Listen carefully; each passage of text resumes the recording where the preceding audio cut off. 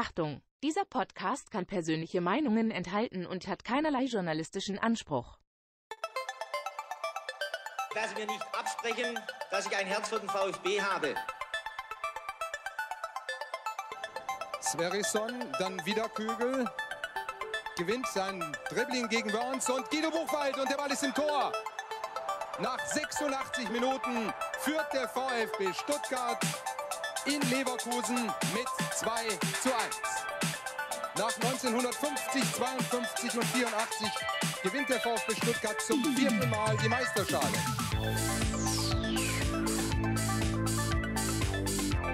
Jetzt müsste der Ball endlich noch einmal hereinkommen. Jetzt kommt er weit nach hinten auf Hitzelsberger!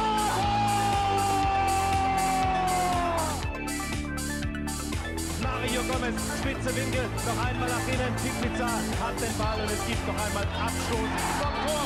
Und jetzt ist das Spiel aus und der VfB Stuttgart ist deutscher Fußballmeister. Live aus dem Fanprojekt in Stuttgart. Mein Name ist Ricky, das ist Sebastian Rose und ihr hört und seht STR. Ja, hoffentlich. Guten Abend, Ricky. Ja, guten Abend, Sebastian. Mensch, wie geht's dir? Äh, gut. Heute ist hier richtig Stimmung in der Bude, können wir schon mal verraten. Ja, wir sind nicht alleine hier. Wir sind heute nicht alleine, denn Champions League steht Ja. an. VfB-Fans wissen wahrscheinlich gar nicht, was das ist. Da treffen sich angeblich die besten Mannschaften Europas und spielen irgend so ein merkwürdiges Turnier aus. Ja. Genau, und das Fanprojekt macht das, was das Fanprojekt äh, eigentlich macht. Wenn wir halt nicht gerade hier irgendwie rumsitzen, sondern hatten ja eine offene Tür heißt es und man kann zum äh, Champions League gucken, vorbeikommen, nach vorheriger Anmeldung. Also bitte jetzt nicht mehr kommen. Jetzt nicht mehr kommen, das geht natürlich nicht. Keine Frage. Äh, nächste Woche ist auch wieder Champions League, ich glaube schon, oder? Ich weiß nicht. Bestimmt, auf jeden Fall. Also zumindest in Stuttgart am Samstag ist dann ähm, auch so eine Art Champions League. Zumindest äh, könnte man sagen, es ist, hat ähnlichen Charakter, Playoff-Charakter. Oh ja. Kommen wir nachher drauf zu sprechen, keine Frage.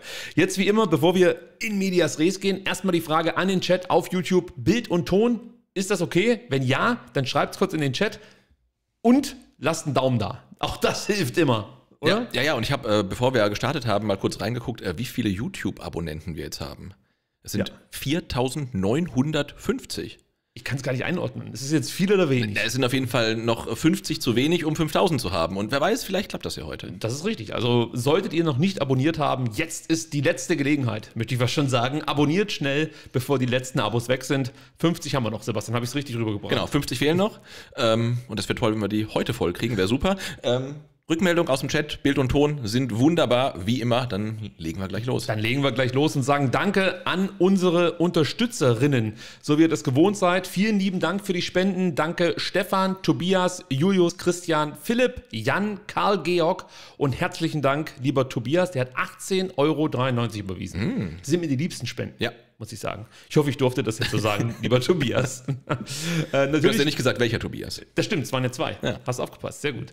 Natürlich geht auch ein großer Dank raus an alle Patreon-Supporterinnen und Supporter, stellvertretend für 104 plus 1, Sebastian. Also ist immer noch äh, steigend, Ja? das Ganze, im Gegensatz zu den Corona-Zahlen. Ah, damit sollte ich wahrscheinlich nicht anfangen. Egal. Ähm, Zack, alle raus aus dem Livestream. Gerade auf YouTube. Ganz, ganz Schwieriges. Thema, ja. Ähm, ich pick mir heute mal ähm, die Simone raus. Die Simone unterstützt uns schon seit zwei Jahren. Vielen lieben Dank, Simone. Ja, also und wenn ihr noch nicht dabei seid, könnt ihr jetzt auf den Zug sozusagen mit aufspringen. Patreon.com slash VfBSTR ist jetzt der geratene Link von mir. Ich glaube, das stimmt aber. Das sieht gut aus. Ein ganz besonderer Dank geht heute raus an den Renato. Also vielen lieben Dank für die wirklich überwältigende Unterstützung, muss man sagen.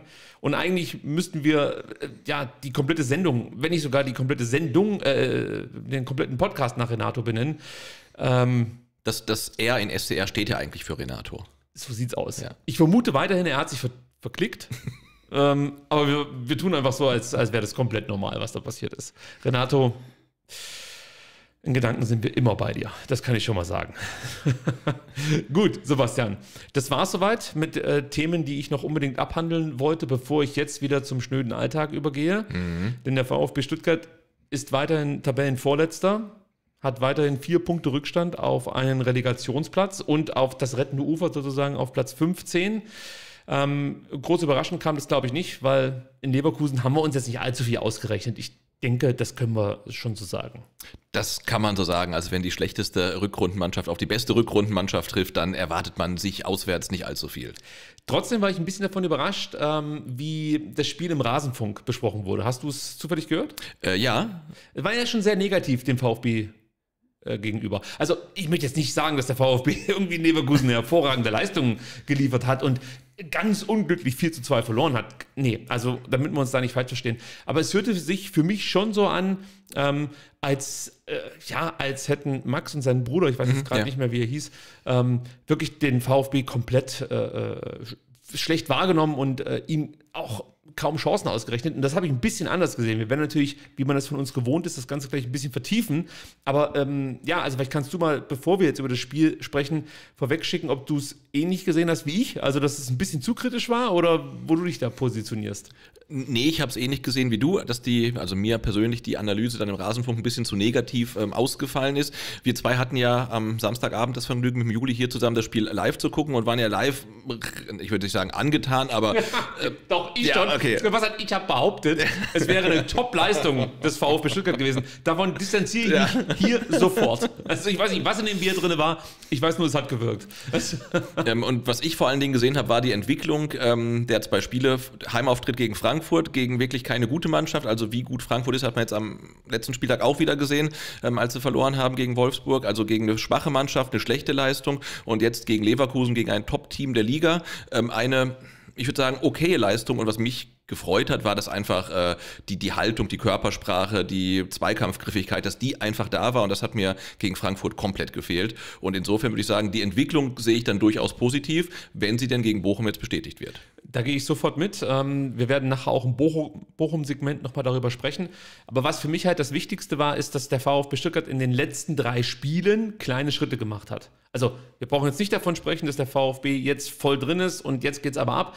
Aber wenn du überlegst, vom Freiburg-Spiel zum Frankfurt-Spiel, vom Frankfurt-Spiel zum Leverkusen-Spiel, da gibt es Mini-Steps, um es mal so zu sagen. Und jetzt muss, wie du sagst, gegen Bochum eigentlich nicht nur eine Bestätigung erfolgen, sondern der nächste Schritt. Genau. Und bestenfalls reicht der nächste Schritt für einen Heimsieg gegen Bochum.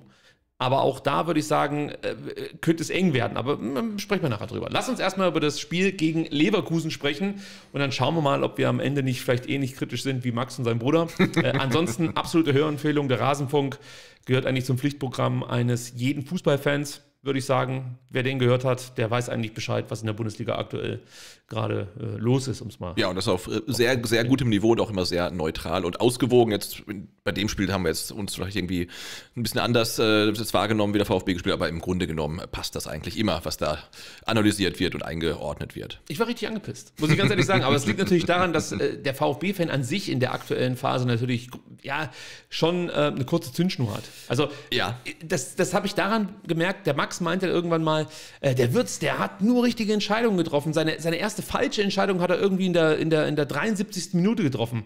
Und dann saß ich wirklich so beim Hören da und dachte mir, ja, und was war in der 49. Das, Als das, Gegen, das Gegentor, ne? ja, Also- genau, da hat er einen Fehlpass Ja. gespielt. Also ich habe mich sofort da reingesteigert und dachte dann, "Ah, jetzt komm doch mal runter, ey. Ja. Also es ist, es ist alles okay, bleib ruhig. Also Max ist nicht dafür bekannt, den VfB besonders schlecht ähm, ja, zu, zu, zu, ich hätte es fast gesagt, zu kommentieren, aber zu bewerten könnte man fast schon sagen.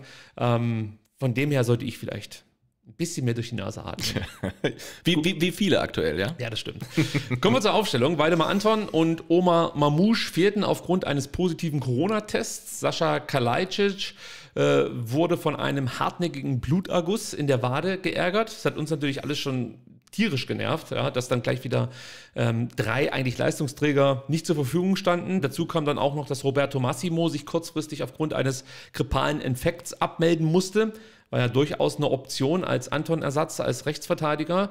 Ähm, ja, somit kann man schon sagen, waren ähm, die taktischen wie auch personellen Überraschungsmöglichkeiten für Pellegrino Matarazzo relativ überschaubar, würde ich sagen.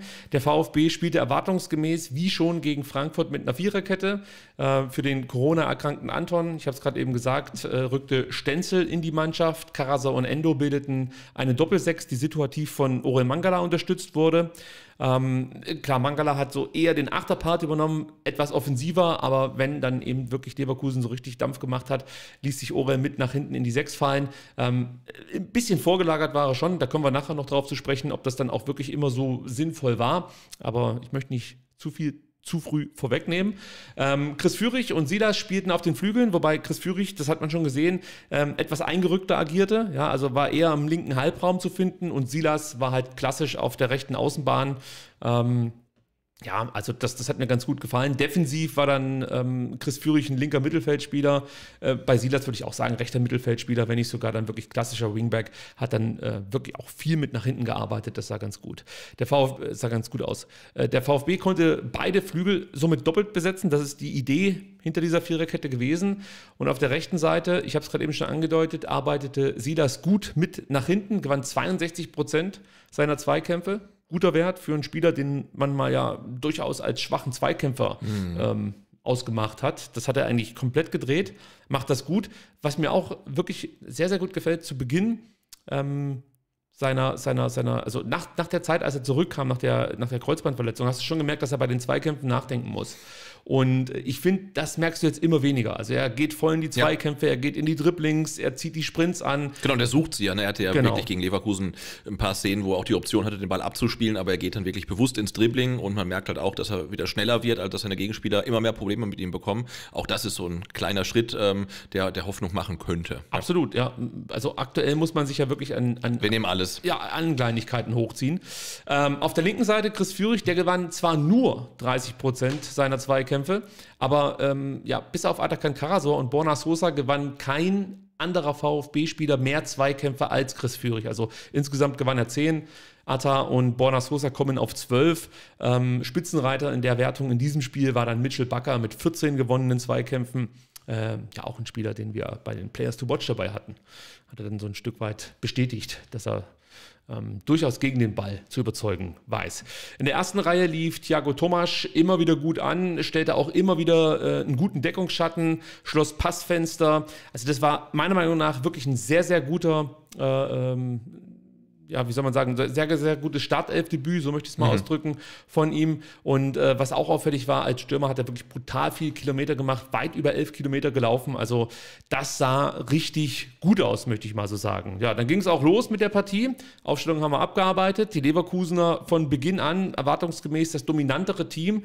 Der VfB verteidigt das aus einer meiner Meinung nach guten Ordnung heraus, sehr, sehr solide.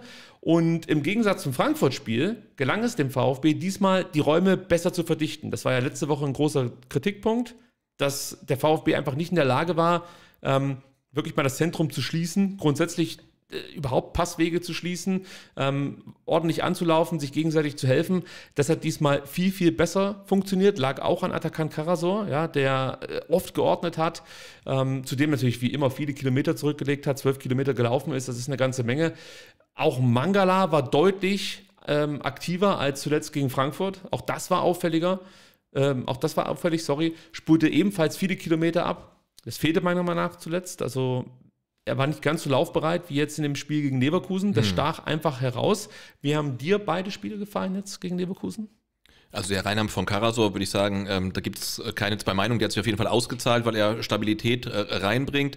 Ähm, er ist sehr zweikampfstark, also er gibt der Mannschaft da einfach Sicherheit. Und wenn Endo und Mangala noch einen Dritten an der Seite haben, dann tut das dem Spiel vom VfB zumindest gegen bessere Gegner oder gegen Gegner wie Leverkusen sehr, sehr gut. Also da hat er mir wahnsinnig gut gefallen. Mir hat auch sehr gefallen, dass er, also mir hat nicht gefallen, dass er todtraurig war, aber nach dem Abpfiff seine Reaktion. Also der war ja wirklich total geknickt und ich glaube, er bringt auch so ein Stück weit das böse M-Wort Mentalität mit in die Mannschaft rein. Das, das war gut. Und ähm, bei Orel Mangala, das ist glaube ich genau das Thema, was wir auch jetzt für den VfB als solches angesprochen haben. Also Entwicklung und äh, die stagnierte oder ging sogar nach hinten und jetzt von Frankfurt zum Leverkusen-Spiel fand ich, da kann man seine Leistung, das war ja wie, wie, Tag und Nacht, also das war ja gegen Leverkusen natürlich weit weg von fehlerfrei, aber es war viel mehr Bereitschaft da, Laufbereitschaft kann man in Zahlen ablesen, er war präsenter, er hat die Räume wirklich, wie du sagst, verdichtet und alleine ähm, für den Assist äh, vor dem 1 zu 1, äh, ja, also ich meine, die Szene, das war Wahnsinn. Ja, die Szene war absolut der Wahnsinn. Ich muss jetzt schon vorweg schicken, es gab dann in den entscheidenden Momenten immer noch alte Mangala-Szenen. Aber in der Defensive dann. In der Defensive, ja. genau, das war das Thema, aber nochmal zurück zur Laufbereitschaft von Orel Mangala. Also gegen Leverkusen spulte er 11,59 Kilometer ab. Und ähm, ja, das letzte Mal, als Orel Mangala einen ähnlichen Wert erreichte, Ja, ich habe mir wirklich die Mühe gemacht, gemacht bin jedes Spiel durchgegangen. Ähm, das lag, äh, das liegt schon sehr, sehr lang zurück. Das war nämlich am 22. Spieltag in der vergangenen Saison, also Oh. vor einem Jahr, kann man sagen, gegen Köln. Äh, Das war das letzte Mal, dass er einen ähnlichen Wert schaffte. Ähm, Und ich habe mir dann halt mal angeschaut, wie war es jetzt so die letzten Wochen. Also gegen Frankfurt 7,21, klar, da wurde er früher ausgewechselt. Gegen Freiburg 8,53 wurde er auch früher ausgewechselt. Gegen Leipzig 10,7, gegen Fürth 10,7. Also du merkst, dass da schon einiges passiert ist, ja. Und das merkst du nicht nur jetzt irgendwie an der Datenbank, dass sich da die Zahlen erhöhen oder größer werden. Das siehst du halt auf dem Platz. Also wir Ja, sofort, ja. Wir haben es ja gerade eben äh, eigentlich schon äh, aufgeschlüsselt. Ähm, du hast endlich mal das Gefühl gehabt, dass es wirklich eng ist sozusagen vor der letzten Kette und ja, die Leverkusener oft auf den Flügel ausweichen mussten und ähm, das Zentrum relativ gut geschlossen wurde von den dreien. Endo, Mangala und eben äh, Karasor. Also das sah schon ganz, ganz gut aus. Ähm, ich hoffe nur, dass es jetzt nicht eine Eintagsfliege war, ja, und dass man das dann auch gegen Bochum so zeigt, denn es wird Ja, muss er, muss er. genauso Sonst- vonnöten sein, Ja. ja. Ähm, also, das war alles deutlich kompakter und auch griffiger als in vielen Spielen davor. Die Mannschaft wollte zeigen, das ist zumindest mein Eindruck gewesen, dass sie es besser kann, als eben gegen Frankfurt gezeigt wurde oder auch gegen Freiburg, ganz klar. In der 13. Minute wird Leverkusen das erste Mal dann so richtig gefährlich. Eigentlich steht der VfB in, in dieser Situation ganz gut. Sie drängen Leverkusen vom eigenen Strafraum ab über Passstaffetten findet Bayer einfach keine Lücke, um sich dann äh, in die Gefahrzone vorzuspielen. Und sie müssen es dann über Einzelaktionen richten. Das wird dann später auch nochmal ein Thema. Aber wie gesagt, der VfB steht eigentlich ganz gut. Man schiebt Leverkusen raus auf die Flügel. Diaby bekommt auch auf dem Flügel den Ball, in dem Fall auf dem linken Flügel. Stenzel weiß dann nicht so recht, ob er jetzt attackieren soll oder ob er sich besser fallen lässt. Er entscheidet sich dann für Ersteres, kommt auch an den Ball. Da hast du dich sehr drüber aufgeregt, weil er ihn eigentlich schon hatte. Ja? Aber er konnte ihn eben nicht komplett erobern. Er ist dran, aber er erobert den Ball nicht. Und äh, ich habe mir das ein paar Mal angeguckt und dann fällt dir auf, vielleicht hätte in dem Moment Silas entschlossener mithelfen können, müssen, wie auch immer. Aber das ist auch so ein Thema, wenn er noch mit drauf geht, ist der Ball beim VfB, da Ja. lege ich mich fest. Ähm, ist natürlich auch wahnsinnig schwer, hohes Tempo, wir wissen das. Und ähm, ja, äh, jeder VfB-Spieler, der da um den Ball herumstand irgendwie oder eingreifen hätte können, brauchte so diese, diese kleine Sequenz länger als Diaby in dem Moment. Ja. Und dann ist die Szene halt durch. Ja, muss man so sagen. Diaby bleibt also am Ball, kann Tempo aufnehmen, spielt dann kurz vor dem Strafraum einen wirklich herausragenden Pass auf Schick. Das ist einfach großartig gemacht. Schick sucht das Finish und trifft den Außenpfosten. Ja, Ito muss ja eigentlich noch enger an Schick dranbleiben. Bleibt anschließend, muss man sagen, aber im entscheidenden Moment ruhig und verteidigt das Zentrum. Denn dort lauerte, wenn man sich das nochmal anguckt, Florian Wirtz. Die bessere Option von Schick wäre eigentlich gewesen, Wirtz im Zentrum anzuspielen.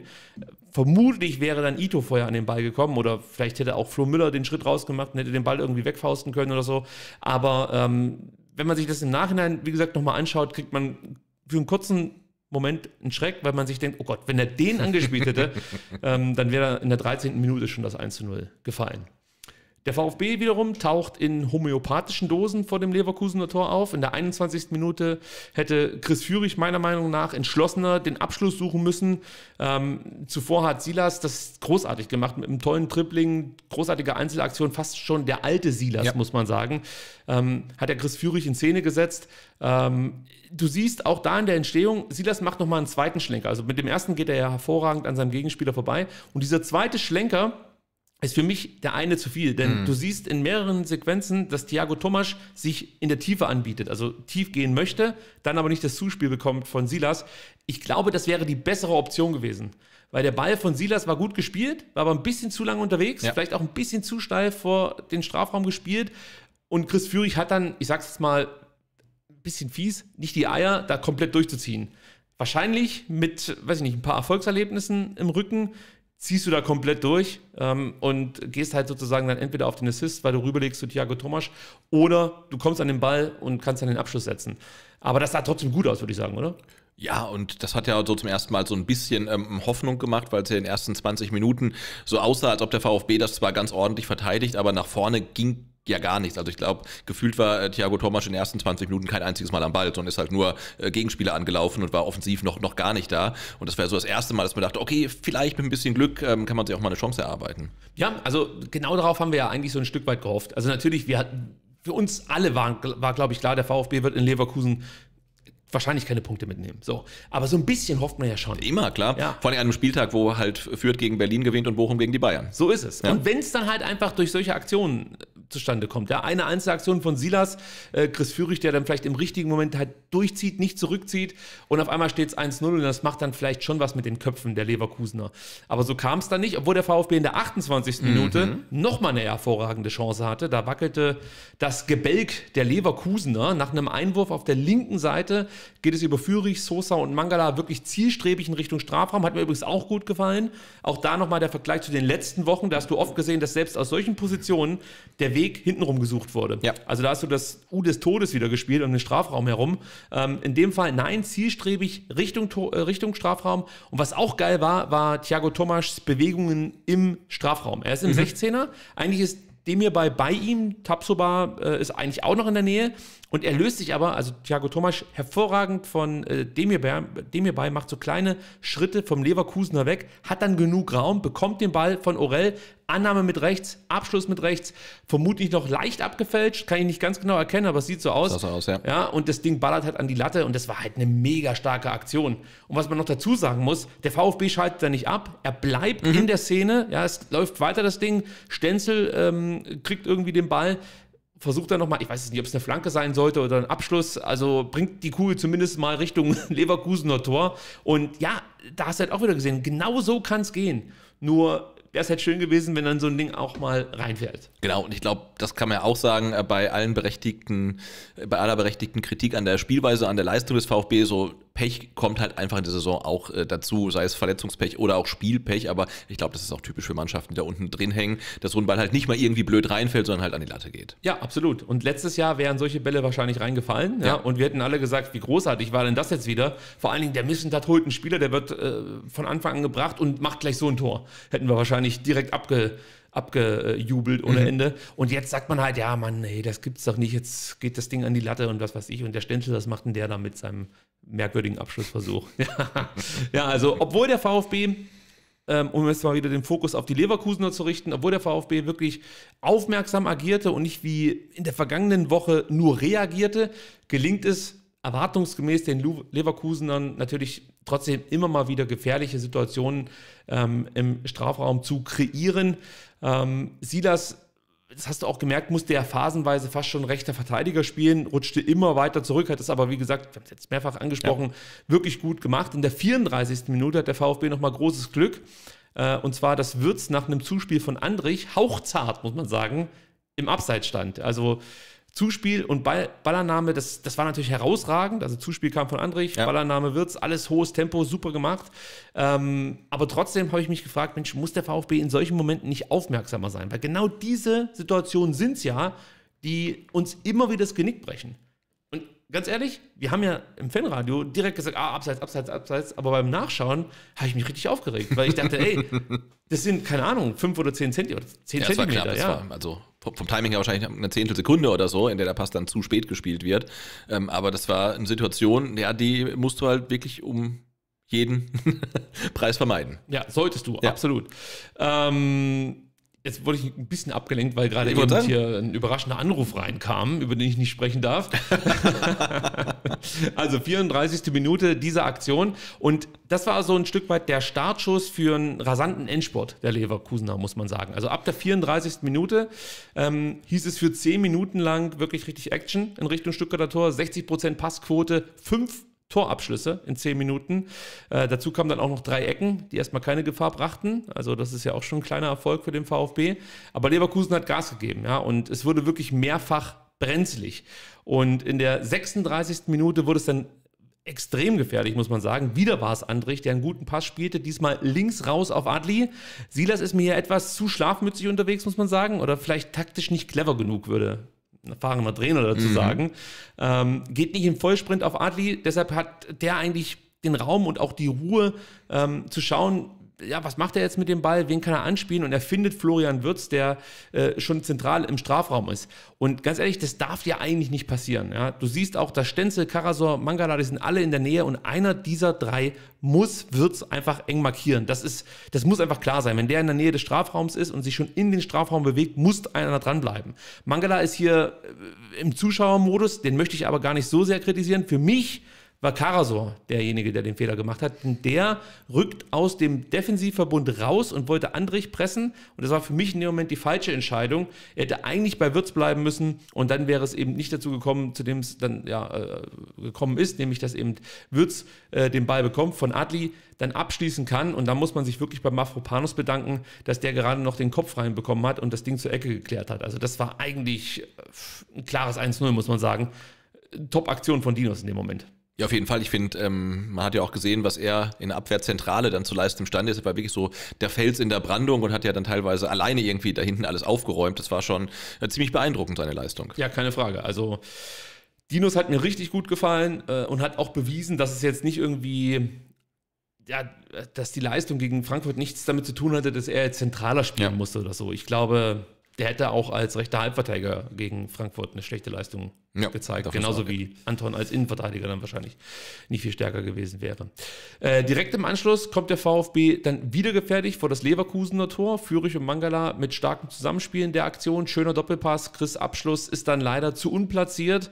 Aber auch hier holt sich der VfB den zweiten Ball auch wenn es dann keinen gefährlichen Abschluss mehr gibt, aber trotzdem der VfB in solchen Momenten hellwach. Ja. Und das ist ja auch schon wieder eine Entwicklung.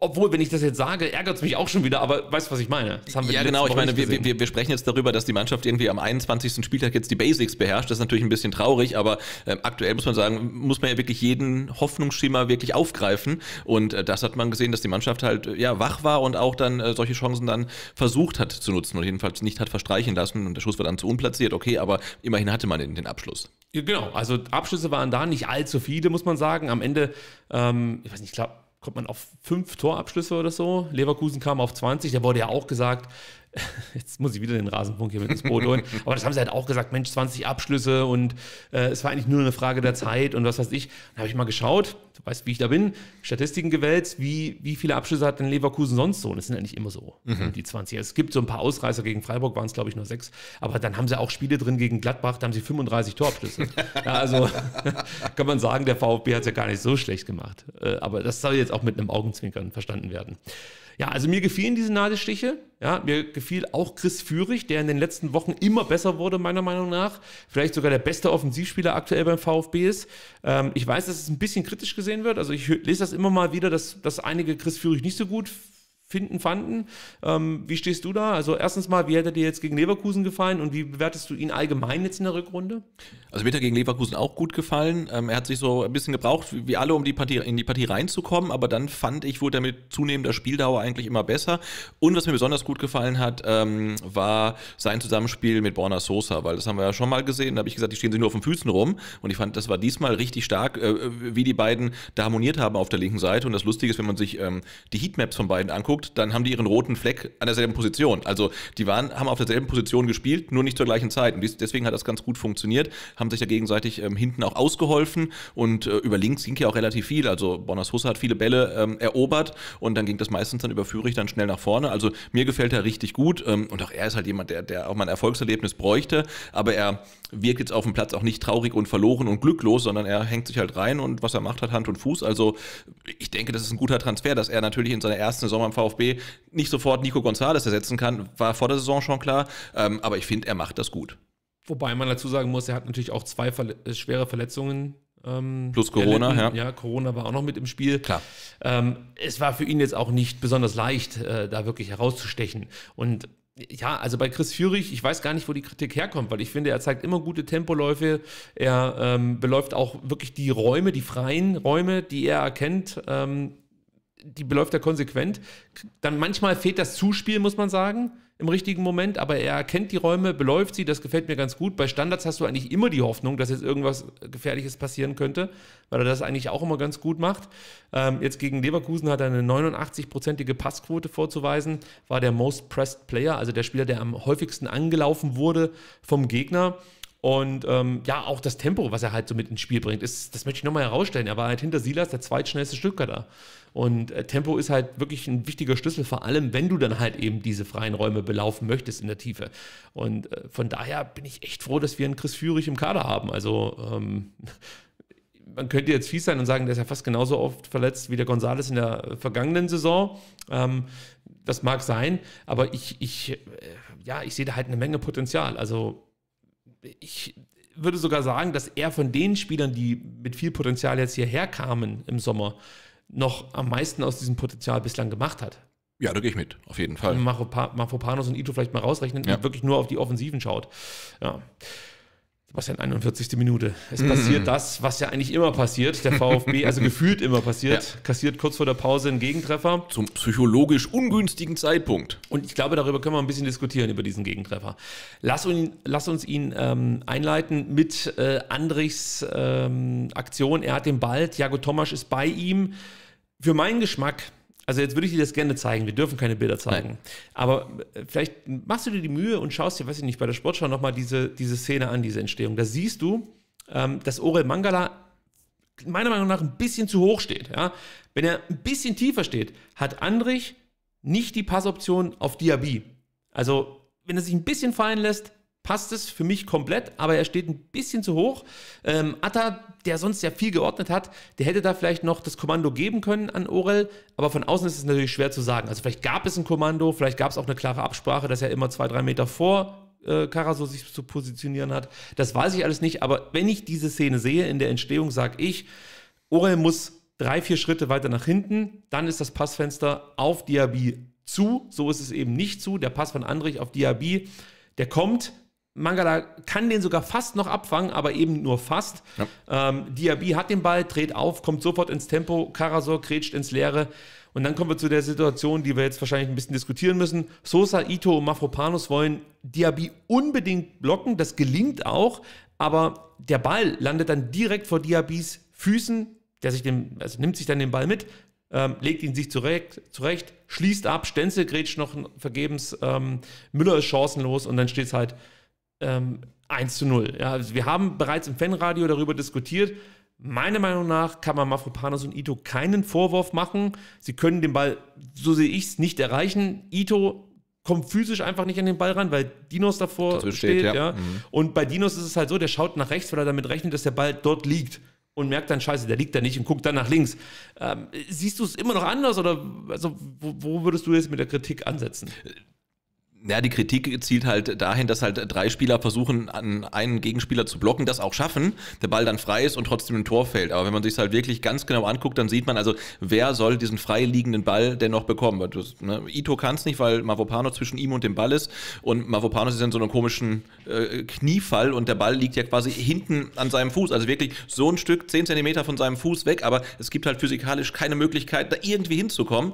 Und Sosa ist auch irgendwie aus der Szene raus und Diaby kann mehr oder weniger durchlaufen. Ne? Und also mich hat es halt erst so gefreut, mit welcher Entschlossenheit gleich drei Spieler das Tor verhindern wollen, den Spieler dann auch noch blocken können und dann habe ich mich halt umso mehr geärgert, dass dann Diaby trotzdem halt dann so easy abschließen kann. Äh, Aber das muss man dann, glaube ich, auch in der Szene wieder unter Pech verbuchen, weil also ich weiß nicht, was man da dann noch anders machen soll.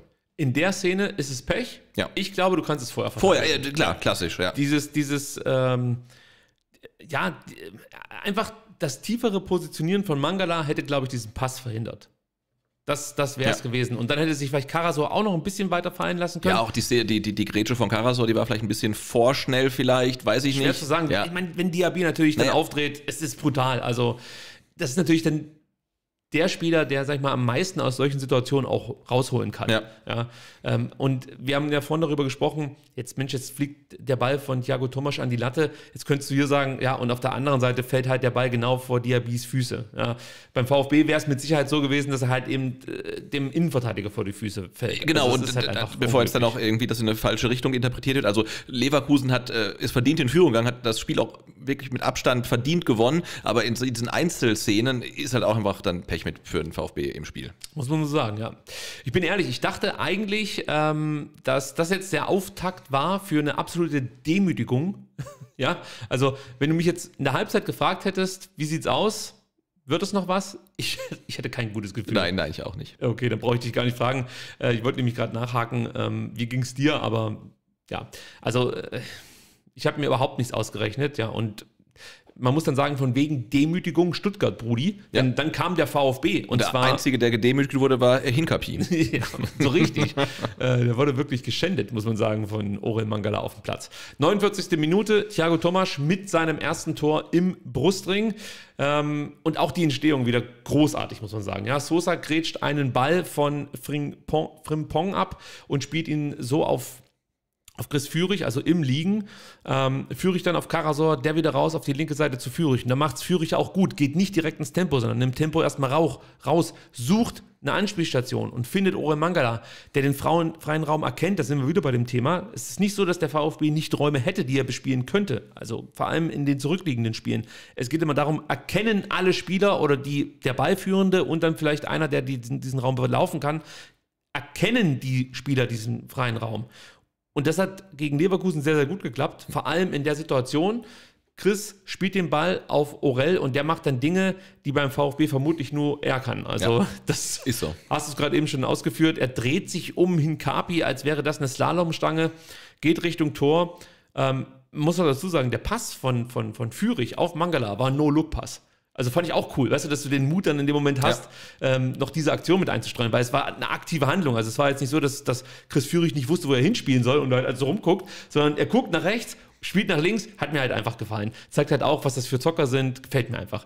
Macht Spaß dann zuzuschauen. Links läuft Thiago Tomasch mit und er und, glaub, alle Menschen, alle VfB-Fans haben in dem Moment einfach nur gedacht, Mensch, spiel den Ball bitte nach links auf Thiago Tomasch und schließ nicht selber ab. Und offensichtlich hat sich auch, auch Orel gedacht, Mensch, ich habe es schon so oft probiert und es hat irgendwie noch nie so richtig funktioniert. Also ich spiele das Ding raus. Annahme mit rechts, Abschluss mit links, 1-1. Ähm, ja, das, das war großartig gemacht, muss man sagen. Ja, und da merkst du halt auch, dass äh, Thiago Thomas halt dann auch nicht nachdenkt. Ne? Also der ist halt so frisch in der Mannschaft, der ist noch nicht belastet jetzt von der Tabellensituation, von der sportlichen Talfahrt, sondern der kriegt halt den Ball und der, der jagt ihn halt einfach rein. Also so eine Situation hatten wir, glaube ich, auf der anderen Seite gegen Dortmund von, von Massimo, ne? wo er so eine Chance Ja, dann hat. nimm Sascha gegen Frankfurt, Ja, als er allein ja. aufs Tor läuft. Also es ist eine andere Situation Ja. an sich, aber auch da fehlt dir in dem Moment natürlich dann bei Sascha der Mut. Ja.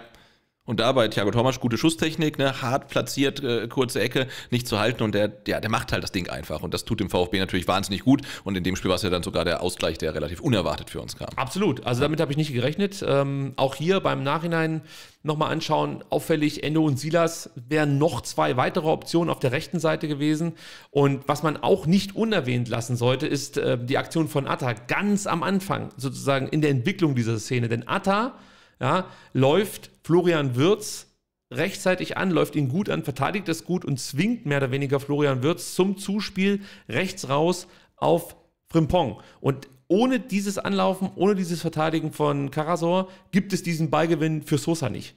Auch eine wichtige Szene, die man gerne mal vergisst. Also das war einfach wirklich von allen Mannschaftsteilen hervorragend gearbeitet und wirklich ein verdientes Tor, muss man sagen. Ich fand es einfach großartig, muss ich ganz ehrlich sagen. Ja. Also es ist ein Tor, wie man sich vom VfB eigentlich häufiger wünscht. ja. Und du siehst halt wirklich in dieser Situation, in dieser Szene, welche Qualität diese Mannschaft eigentlich hat oder was für eine Qualität in dieser Mannschaft steckt. Und es ist so ärgerlich, dass sie das so selten abrufen können, aber sie können wirklich zocken. Es ist einfach Ja. so. Also es ist jetzt keine Graupenmannschaft wie 2019 oder so, wo du eigentlich schon gesehen hast, es wird nichts. Ähm, Problem nur bei der ganzen Sache, Leverkusen war total unbeeindruckt. Ja, also die dachten sich jetzt nicht, scheiße, der Außenseiter ist wieder im Spiel, jetzt geht der Kack wieder von vorne los. Ja. Die haben sich einfach gedacht, ja, dann bringen wir mal direkt eine Antwort. Es gibt das 2 zu 1 durch Adli und auch darüber müssen wir sprechen, denn es fällt nach einer Standardsituation. Ja, und das ist natürlich das Thema gewesen, das äh, in den letzten äh, Tagen, Wochen immer wieder beackert wurde. Nochmal, ich habe es schon beim Fanradio gesagt, man darf einfach nicht vergessen, ja, äh, der VfB hat vor diesem Gegentor neun Standardgegentore kassiert, davon acht durch Ecken. Allerdings fielen ähm, fünf Tore nach Ecken in nur zwei Partien. Ja. Drei gegen äh, Augsburg, zwei gegen Frankfurt. Das kannst du nicht rausrechnen, weil es ist ja de facto passiert, aber es, es ist halt schon auch ein Faktor, dass du halt fünf Tore in zwei Spielen kassierst und nicht irgendwie acht äh, Tore in acht. Ja, ja. So, ja. Also das sollte man schon berücksichtigen. Ähm, trotzdem sind Standard ein Problem beim VfB und laut Materazzo hat man sich in der vergangenen Trainingswoche diesem Thema intensiv gewidmet, Sebastian. Ich kann jetzt schon mal vorwegschicken, bevor wir die Szene auseinandernehmen, offenbar noch nicht ausreichend genug, denn der VfB kassierte schließlich das zehnte Gegentor nach einer Standardsituation. Ähm, erstmal muss man sagen, die Entstehung auch ein bisschen unglücklich. Endo ja, verursacht im linken Halbraum einen, einen für mich vermeintbaren Freistoß. Ähm, ist im Nachhinein immer leichter zu sagen. Also ich verstehe schon, dass Endo da draufgegangen ist. Ja, war ein bisschen blöd, muss man sagen. Aber ist so, wie es ist. Dem hierbei führt aus. Und dann ist für mich das Hauptproblem, dass sich Sosa und eigentlich die komplette Stuttgarter Defensive so ein bisschen verschätzt oder man könnte auch sagen verspekuliert. Weil du siehst, dass sich alle Richtung langen Pfosten orientieren, außer einer. Das ist Adli, mhm. der läuft kurz. Und deswegen gehe ich fest davon aus, dass das eine einstudierte Variante war. Und das ist halt immer das Problem, wenn du halt den Raum verteidigst und nicht den Mann. Also es gibt in dem Moment eben noch keine klare Zuordnung, sondern man wartet sozusagen ab, was macht jetzt der Gegner. Und wenn es natürlich die ganz klare Zuordnung gegeben hätte, Sosa und Adli, dann wäre Sosa mit Adli mitgelaufen. Ja, ja. Egal, wo der Ball hinfliegt, der wäre halt mitgelaufen. Aber so will er den Raum verteidigen, macht den Schritt zurück, Adli macht den Schritt nach vorne, dann geht Sosa mit nach vorne und dann ist die Situation eigentlich schon durch. Und dann kommt halt auch wieder dazu, dass dem hierbei diesen Ball wirklich auf den Punkt genau schlägt und Adli das Ding ins lange Eck legt, das ist, das ist alles herausragend. Ja, es ist egal, wie groß der ist. Es ist einfach, die Aktion an sich ist grandios.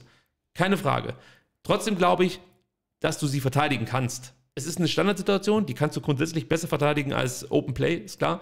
Ähm, und wie gesagt, du musst irgendwann mal dazulernen und sagen, ich kann mich jetzt nicht nur äh, fest darauf versteifen, ich verteidige jetzt den Raum. Ich ja. finde, du musst auch ein Stück weit ähm, ja, einfach mal das Thema ansprechen, dass, dass unsere ähm, Abwehrspieler oder die, die äh, eben dann defensiv Rollen einnehmen bei Standardsituationen, ähm, aktiver Richtung Ball sich orientieren müssen. Ja, vor allem ist es ja auch ein Thema, was uns gefühlt schon ewig ähm, begleitet. Ich damit, glaube ich, diskutiert nach dem ersten Spieltag der vergangenen Saison gegen Freiburg. Da ging es schon los. Raumdeckung versus Manndeckung und warum kriegt der VfB so relativ einfache Tore, wenn man doch weiß, dass Freiburg ähm, in dem Fall dann gefährlich ist bei Standards. Und das ist halt irgendwie so eine never-ending Story. Und ähm, auch wenn es jetzt statistisch gesehen nicht übermäßig viele Standardtore sind, sind es auf jeden Fall zu viele. Ja, also es braucht eine andere Zuordnung. Also ich sage jetzt nicht, dass man jetzt umschwenken muss von, von Raum auf Manndeckung, aber es muss irgendwie ähm, wie soll ich sagen, also es, es braucht klarere Abläufe im Verteidigen von Standardsituationen. Das ist einfach auffällig. Du darfst nicht so, so viele Gegentore ja. kassieren nach Standards. Es sind einfach zu viele. Und ähm, ja, daran muss weiter gearbeitet werden. Fakt. Punkt. Ähm, ist natürlich mega, mega ärgerlich gewesen für den VfB. Ich glaube, 158 Sekunden, nachdem du das äh, Unentschieden dir erarbeitest, muss man ja so sagen, kriegst du gleich wieder das Gegentor. Und dann sind es halt wirklich diese einfachen Fehler, die den VfB immer wieder ins Hintertreffen bringen. Auch das zieht sich eigentlich wie ein roter Faden durch die Saison. Und da musst du sagen, so wie es ist, wenn der VfB sich defensiv nicht schleunigst stabilisiert, dann kannst du den Klassenerhalt abhaken. Ja. Also Offensive hin und her, die sieht jetzt wieder ein bisschen besser aus als zuletzt, aber es ist jetzt nicht so, dass wir jeden Gegner irgendwie drei, vier Buden einschenken werden. Aber du musst eigentlich fast gegen jeden Gegner damit rechnen, dass der VfB zwei Tore kassiert. Und das wird halt echt schwer, dann immer drei zu schießen. Und ähm, dass der VfB jetzt Siege braucht, ich glaube, das ist jedem klar. Also da muss weitergearbeitet werden, muss man sagen. Danach, nach diesem Tor, kühlte das Spiel so ein bisschen ab. Es blieb zwar weiter spannend. Leverkusen hatte ähm, viel Ballbesitz, aber ich würde sagen, der VfB hat sich trotzdem ja, ganz ordentlich verkauft, hat äh, körperlich dagegen gehalten. Das sah eigentlich alles ganz gut aus. Materazzo hat sich dann entschieden, in der 71. Minute das System zu verändern. Die Viererkette wurde zur Dreierkette. Endo wurde ausgewechselt, für ihn kam Kulibali. Ähm, der VfB verlor dann im Anschluss deutlich an Zugriff. War das aus deiner Sicht ein Fehler von Materazzo hier umzustellen oder wie siehst du es? Ich weiß nicht, ob es ein Fehler war. Er, hat, er wollte was riskieren. Ähm, das Problem war halt, dass sich durch die Auswechslung die Statik in allen Mannschaftsteilen eigentlich geändert hat. Und da hatte der VfB dann erstmal sichtlich dran zu knabbern. Und die nächsten zehn Minuten, die waren ja wirklich heikel. Also, dass man da kein Gegentor äh, bekommen hat, ist dann wirklich eigentlich schon ein Wunder, äh, weil da war ja fast schon Vogelwild. Und ich glaube, da hat man auch mal wieder gesehen, wie wichtig ein Endo ist. Weil wenn der halt raus ist, dann ist auf einmal alles anders, auch wenn er keinen guten Tag hatte. Aber der ist halt so äh, das Ausgleichsgewicht im Spiel irgendwie. Und ähm, das war eine mutige Auswechslung. Ähm, ob die jetzt falsch war, vermag ich nicht zu sagen aber sicherlich hat sie den VfB erstmal in Nöte gestürzt. So. Ja, also im Endeffekt hast du ja das gemacht, was Leverkusen braucht, um wirklich ihr, ihr äh, Angriffsspiel komplett durchziehen zu können. Also du hast halt auf den Flügeln dann nur noch einfach besetzt, beziehungsweise so eine gewisse Asymmetrie drin gehabt, wie wir sie sonst auch kennen vom VfB. Aber es funktionierte einfach nicht so gut. Äh, das Zentrum wurde ähm, löchriger, muss man sagen. Und ich dachte mir dann schon, Mensch, hättest du nicht positionsgetreu wechseln können? Sprich, du bringst Ahamada, ja, und hast dann nochmal mit Ahamada so einen zweiten Spielertyp wie Orel Mangala im Spiel. Das heißt, einer, der auch offensiv Akzente setzen kann. Ja.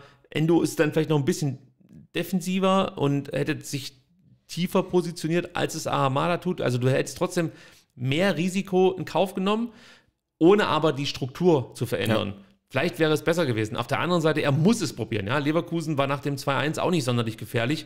Ähm, ja, und ob du dann 3-1 verlierst oder 2-1, äh, kann dir eigentlich wurscht sein. Du musst halt einfach auf dieses 2-2 gehen. Genau. Ja, und es ging dann erstmal nicht auf, muss man sagen. Und am Ende äh, blieb es auch dabei, will ich fast schon behaupten. Äh, Diaby muss man sagen, hatte nochmal eine klasse Chance für die, für die Leverkusener in der 75. Minute. Itos schlampiger Pass auf Thiago Tomasch wird von Palacios abgefangen. Führig verteidigt dann gegen Diaby nicht entschlossen genug. Der spielt weiter auf Würz und Würz schippt den Ball elegant und gekonnt, muss man sagen, so in den 16er zurück zu Diaby. Der setzt sich äh, dann mit so einem ja, Seitfallzieher oder was das war gegen Ito durch. Müller ist da, wehrt, wehrt den Schuss ab. Aber da hast du halt wirklich genau dieses Vogelwilde gesehen, was du jetzt vorhin schon beschrieben ja. hast. Ja, also das war auch eine Szene, ähm, wenn ich jetzt kein VfB-Fan wäre, würde ich halt sagen, ah, das ist fantastisch gespielt. In dem Moment rege ich mich mehr darüber auf, dass es überhaupt zu solchen ähm, ja, Szenen kommen kann. Also das kannst du ja trotzdem noch verteidigen. Das ist jetzt nicht so, ähm, dass, dass ja, Leverkusen da brutal schnell gespielt hat oder so. Es war natürlich Tempo in der Aktion, aber ich finde, das kannst du verteidigen. Das ja, normalerweise spielst du so, wenn du 4-1 führst und nicht, wenn du 2-1 führst, als das Leverkusen das dann überhaupt machen kann und sogar noch dann zum Abschluss kommt. Das war dann nicht ganz so gut. Ja, hat mit Sicherheit auch damit zu tun, dass die halt echt einen Lauf haben. Also die ja. haben halt das Selbstvertrauen, solche Aktionen durchziehen. Klar. Und der, der Wirtz, ich meine, der hat wahrscheinlich die dicksten Eier in Leverkusen. Also was der da abzieht, ist ja sowieso herausragend. Und wir kriegen es dann in der 86. Minute nochmal so richtig ähm, vor Augen geführt.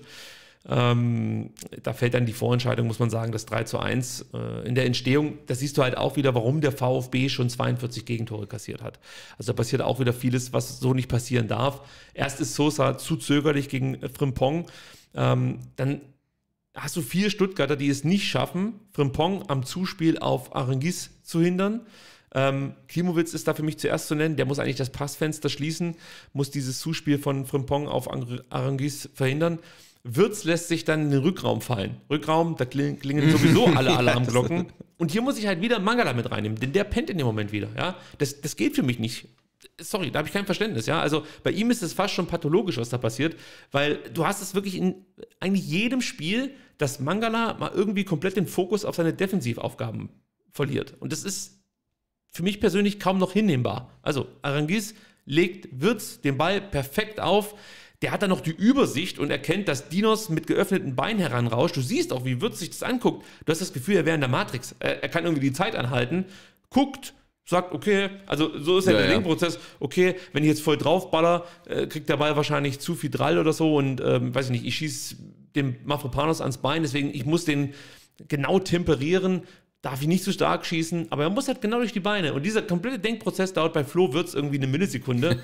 und dann schließt er ab. Für mich ist der Abschluss einfach klasse, perfekte Schärfe, unhaltbar für Müller. Ich glaube, du hast da noch ein paar Fragen, richtig? Äh, das war ähnlich wie beim 1-0. Es sieht halt irgendwie komisch aus. Also wahrscheinlich kann er da überhaupt nichts machen, aber der Ball ähm, kullert ja mehr oder weniger ähm, halt ins Eck neben dem Pfosten und ähm, er rollt langsam ins Tor. Ja, ja. genau und, und, und, und Florian Müller, der, der, der, stolpert so ein bisschen in die Ecke und ähm, also das sah jetzt nicht so aus, er macht einen Zwischentritt und hechtet dann, sondern er also ich glaube nicht, dass er halten kann, aber es sieht halt irgendwie wieder komisch aus. Genauso wie, wie gesagt, beim 1-0 ähm, Dinos Mafropanos, der halt da kniet und der Ball ist direkt neben seinem Fuß und auch er kann da nichts machen. Also ich möchte da Florian Müller auf keinen Fall irgendwie eine Schuld zusprechen, aber es sieht halt wieder unglücklich aus.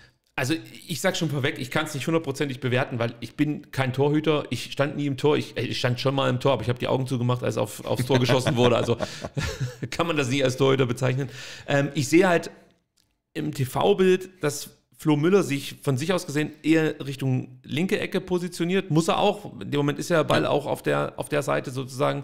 Ähm, und ja, dann ist es wahrscheinlich so, dass er halt echt auch darauf spekuliert, dass der Wirtz jetzt voll draufzimmert. Klar. Und sieht, er hat den Ball auf, der rechten, auf dem rechten Fuß, meine ich, und ähm, spekuliert dann so ein Stück weit darauf, steht dann im Zentrum, in dem Moment, wo der Schuss kommt. Ich weiß nicht, wie sieht er jetzt dadurch Dinos Mafropanos und seinen Mitspielern durch. Schwer zu sagen. Ich gebe dir recht, es sieht, wenn man es so einfach sieht, merkwürdig aus. Ja. aber ich, ich glaube, du kannst das Ding nicht halten. Vermutlich nicht. Ja. Trotzdem, Sebastian, obwohl es dann 3-1 stand, ja, durfte der VfB nochmal jubeln, ja, und vielleicht auch ein bisschen von einem Punkt träumen in dem Moment, denn in der 88. Minute ist es wieder Thiago Thomas, der für den VfB ein Tor erzielt. Ähm, wieder zeigt der VfB auf der linken Seite technisch guten Fußball. Führig, Klimowitz und TBD äh, kombinieren sich in den Strafraum. TBD sucht aus Spitzenwinkel den Abschluss. Tapsoba fällt schleicht ab. Der Ball schlägt neben Radetzky am Pfosten ein. Und dann ist Thiago Thomas da, wo ein Stürmer stehen muss und hält den linken Schlappen rein. Ja, macht äh, sein zweites Tor für den VfB Stuttgart. Äh, ja, einfach eine coole Aktion. Im Endeffekt ein klassisches Stürmertor. Genau, sowas haben wir, glaube ich, zuletzt dann von Sascha Kalajdzic gesehen, also einen klassischen Abstauber. Ähm, und Thiago Thomas damit, und ich hatte dich noch gefragt, äh, erste VfB-Doppelpacker seit Marc-Oliver Kemp am ersten Spieltag. Ja, ist so, ist so. Ähm, was mir auch noch aufgefallen ist, wäre der Treffer jetzt nicht gefallen, hätte man vielleicht auch noch mal den Zweikampf zwischen Bakker und Kulibali ähm, Ja, sich ja, anschauen ja, müssen. Für mich sah es so aus, als ob ähm, Bakker Kulibali fault im Strafraum. Wir wissen natürlich, wie das ist, äh, wenn der VAR drauf guckt und man sozusagen für den VfB entscheiden muss. Wahrscheinlich wäre es Eher nicht, nein, Äh, hat der Schiedsrichter schon auf dem Platz bewertet. Genau. Hätte es dann wahrscheinlich danach geheißen. ähm, gut, sollte keine große Rolle spielen. Thiago Tomasch mit seinem zweiten Tor. Keine Sorge, wir werden Thiago noch äh, gebührend abfeiern hier. Hat er sich natürlich verdient. Ähm, aber das machen wir nachher beim Spieler der Saison, würde ich sagen. Leverkusen stellt im direkten Gegenzug den alten Abstand wieder her und auch den Endstand, muss man sagen. Und hier sind auch wieder so ein paar Dinge. Normal könnte man jetzt sagen, komm, scheiß drauf, da brauchen wir gar nicht drüber sprechen. Aber es sind trotzdem so ein paar Dinge, die mich nerven. Denn klar, äh, der VfB macht jetzt hinten auf. Er will aufs 3-3 gehen, aber ich finde, du kannst trotzdem so jetzt in dem Moment nicht verteidigen. Ja? Mangala, da fängt es an. Wieder nicht aggressiv genug gegen Diaby. Da denke ich mir auch, ey Mann, es steht nur 2 zu 3, ja. Und dann trab doch nicht einfach nur hinter Dia- Diaby hinterher, sondern geh mit allem, was du jetzt noch hast, in diesen letzten, was weiß ich, wie viele Sekunden waren es da noch? Fünf Minuten Nachspielzeit oder so. Also von mir aus in den letzten 500 Sekunden haust du jetzt nochmal alles raus, was Ja. du hast, so. Und rennst dem Diaby da von mir aus in, den, in die Hacken. Und das macht er halt nicht. Und da denke ich mir halt, das ist dann zu wenig. Kulibadi gegen Paulinho auch viel zu passiv. Ja, da sind wir wieder bei dem Thema agieren und nicht reagieren. Und da erwarte ich mir einfach mehr Entschlossenheit in der Aktion gegen den Ball. Du hast ja noch, ich sag's nochmal, du hast ja noch fünf Minuten Zeit. Du kannst dann das einfach nicht so runterlaufen lassen und darauf hoffen, dass dann irgendwann mal Flo Müller den Ball in, in den Händen hält und nach vorne schlägt. Du musst schon was dafür tun, dass du hier einen Punkt mitnimmst gegen Leverkusen. Das ist zu wenig. Deswegen steht der VfB am Ende halt mit null Punkten da. Das muss man sagen, wie es ist. Natürlich weiß ich nicht, ob der VfB jetzt noch mal eine Chance gehabt hätte, den Ausgleich zu machen. Aber trotzdem, solche Situationen wie in diesem Moment siehst du nicht nur beim Stand von, von 2 zu 3 in Leverkusen, sondern regelmäßig. Ja, leider. Ja, und das hat ja auch was damit zu tun, wie ich grundsätzlich eingestellt bin. Also, wie gehe ich meine Arbeit in der Defensive an? Welche, wie, als, wie, als, wie verhalte ich mich als Spieler sozusagen? Und das passt in dieser Saison so oft nicht und in der Szene mal wieder nicht, muss man sagen. Karasor gibt dann Würz auf. Denke ich mir auch, warum, Mann? Das Thema Deckungsschatten. Ja, wir haben vorhin über Thiago Tomasch gesprochen, dass er das beim Anlaufen sehr gut gemacht hat. Auch hier kann sich Karasor besser positionieren, kann den Passweg zu Würz zumachen. Macht er nicht. Ist alles wieder so schlampig, so, ja, hm, jetzt, wir brauchen jetzt irgendwie nochmal einen Ball, wir müssen nach vorne was äh, irgendwie zustande bringen. Aber trotzdem verteidige das einfach, ja, entschlossen und versuch einfach erstmal jetzt hier schon durch diese Defensivaktion ein Statement zu setzen. Ja, Sosa kommt auch nur halbherzig zurück, Ito verliert Schick aus den Augen. Ja, und dann sieht es halt alles super easy aus. Paulinho auf Würz, der auf Schick 4-2, bam. Aber es ist halt so ärgerlich, wenn du solche Tore fängst. Und klar, ob 4-2 oder 3-2, kann einem egal sein. Aber wenn du so Tore, also auf die Art und Weise bekommst, ist es mir halt nicht egal. Dann kotzt mich das an. Weil ich ja. die Befürchtung habe, gegen Bochum läuft es vielleicht ähnlich. Ja, und dann ähm, ist es das entscheidende Tor vermutlich. Ja, und eben nicht ähm, einfach nur noch mal so die Sahne äh, oder die Kirsche auf, auf der Sahne. Ja, hat mich echt genervt. Ähm, was ich auch noch ansprechen muss, ja, Materazzo hat statt fünfmal nur dreimal gewechselt, davon zweimal erst nach der äh, 70. Minute. Hat mich ein bisschen überrascht. Dich auch? Jein, also nicht, nicht so arg wie sonst ähm, vielleicht, weil er ja auch einfach ähm, offensiv, also jetzt ähm, abgesehen von den drei Spielern, die er gebracht hat, mit TBD, Kulibali und Klimowitz auf der Bank eigentlich dann niemanden mehr hat, von dem du sagst, ja komm, den kann ich jetzt bringen, der ist, äh, bringt offensiv nochmal wirklich was mit oder kann nochmal richtig für Unruhe sorgen. Ganz kurz, Beas, Armada, Didavi, Tommy, Förster, gut, Bredlo ziehe ich jetzt mit auf, die saßen noch auf der Bank eingewechselt worden, TBD, Kulibali und Klimowitz. Also Beas Wissen wir jetzt nicht Ja. so genau, wo steht der? Genau, ist ein Mysterium, ne? Einmal, einmal einen guten Auftritt gegen Fürth gehabt, danach irgendwie mehr oder weniger. Wenn man ihn sieht, eigentlich immer, Ja. also nicht schlechter als die anderen. Genau. Das sagt man mal so. Ja. Bei Didavi denke ich mir halt auch, wenn du ihn mitnimmst, ist er jetzt eine Option oder ist er nur so? ja, und das gleiche gilt für Erik Tommy. Erik Tommy Ne? auch, ja, also da, absolut. da weißt du auch nicht, also warum sitzen die beiden dann auf der Bank, äh, damit sie halt nie gebracht werden, dann kann man sagen, okay, dann kann man den Kaderplatz vielleicht oder den Platz auf der Bank auch irgendwie anders füllen. Ähm, ja, und, und Philipp Förster ist, glaube ich, niemanden, den du bringst, wenn du hinten liegst und noch unbedingt ein Tor schießen willst. Also was halt wirklich zum Denken anregt, ist, ähm, dass Klimowitz regelmäßig die Chance bekommt, weil man auch weiß, dass der das Potenzial theoretisch hat. Jetzt, ich weiß, Sebastian, du hast ja absolut recht. Wir brauchen aktuell kein Potenzial, sondern wir brauchen jetzt Leistung. So. Keine Frage, bin ich sofort bei dir.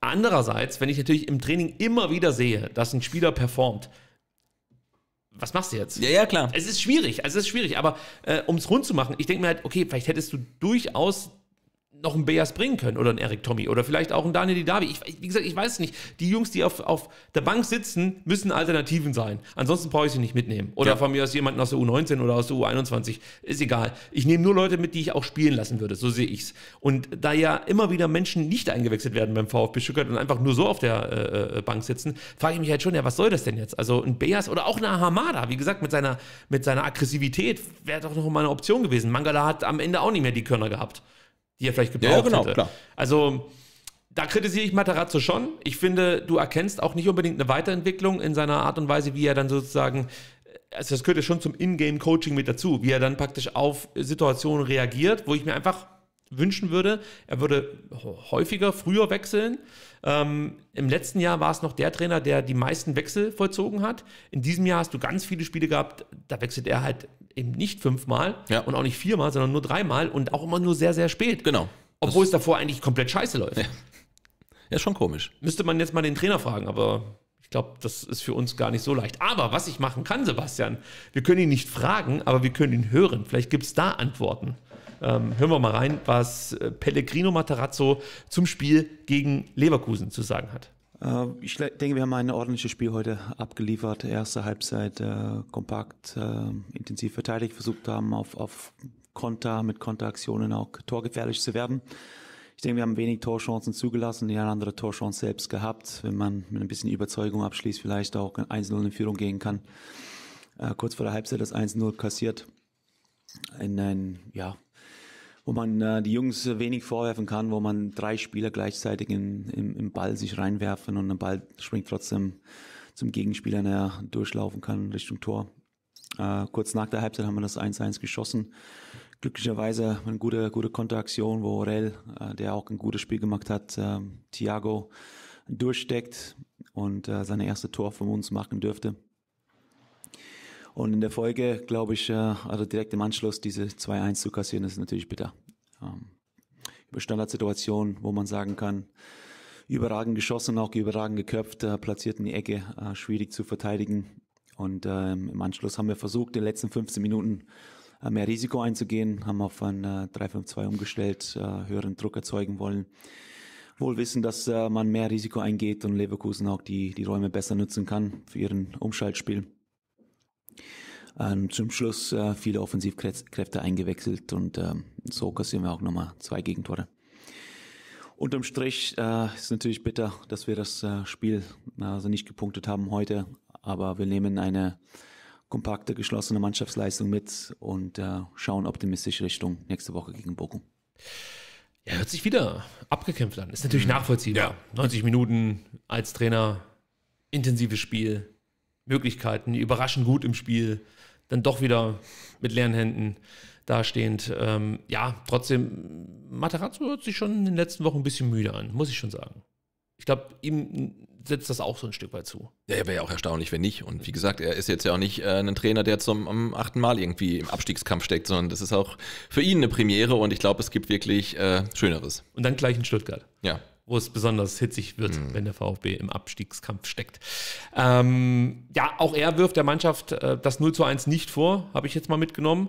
Bestärkt mich praktisch in meiner Meinung. Allerdings weiß ich nicht, ob der Trainer das bei der Pressekonferenz auch direkt machen würde. Ich glaube, Julian Nagelsmann hat nach dem 2 zu 4 in Bochum auch gesagt, es liegt an ihm, dass die Mannschaft verloren hat. Und wenn ich mir das Spiel anschaue, oder ich habe mir das Spiel angeschaut und würde dann sagen, okay, also das war jetzt nicht nur Taktik, die damit reinspielte, aber anderes Thema.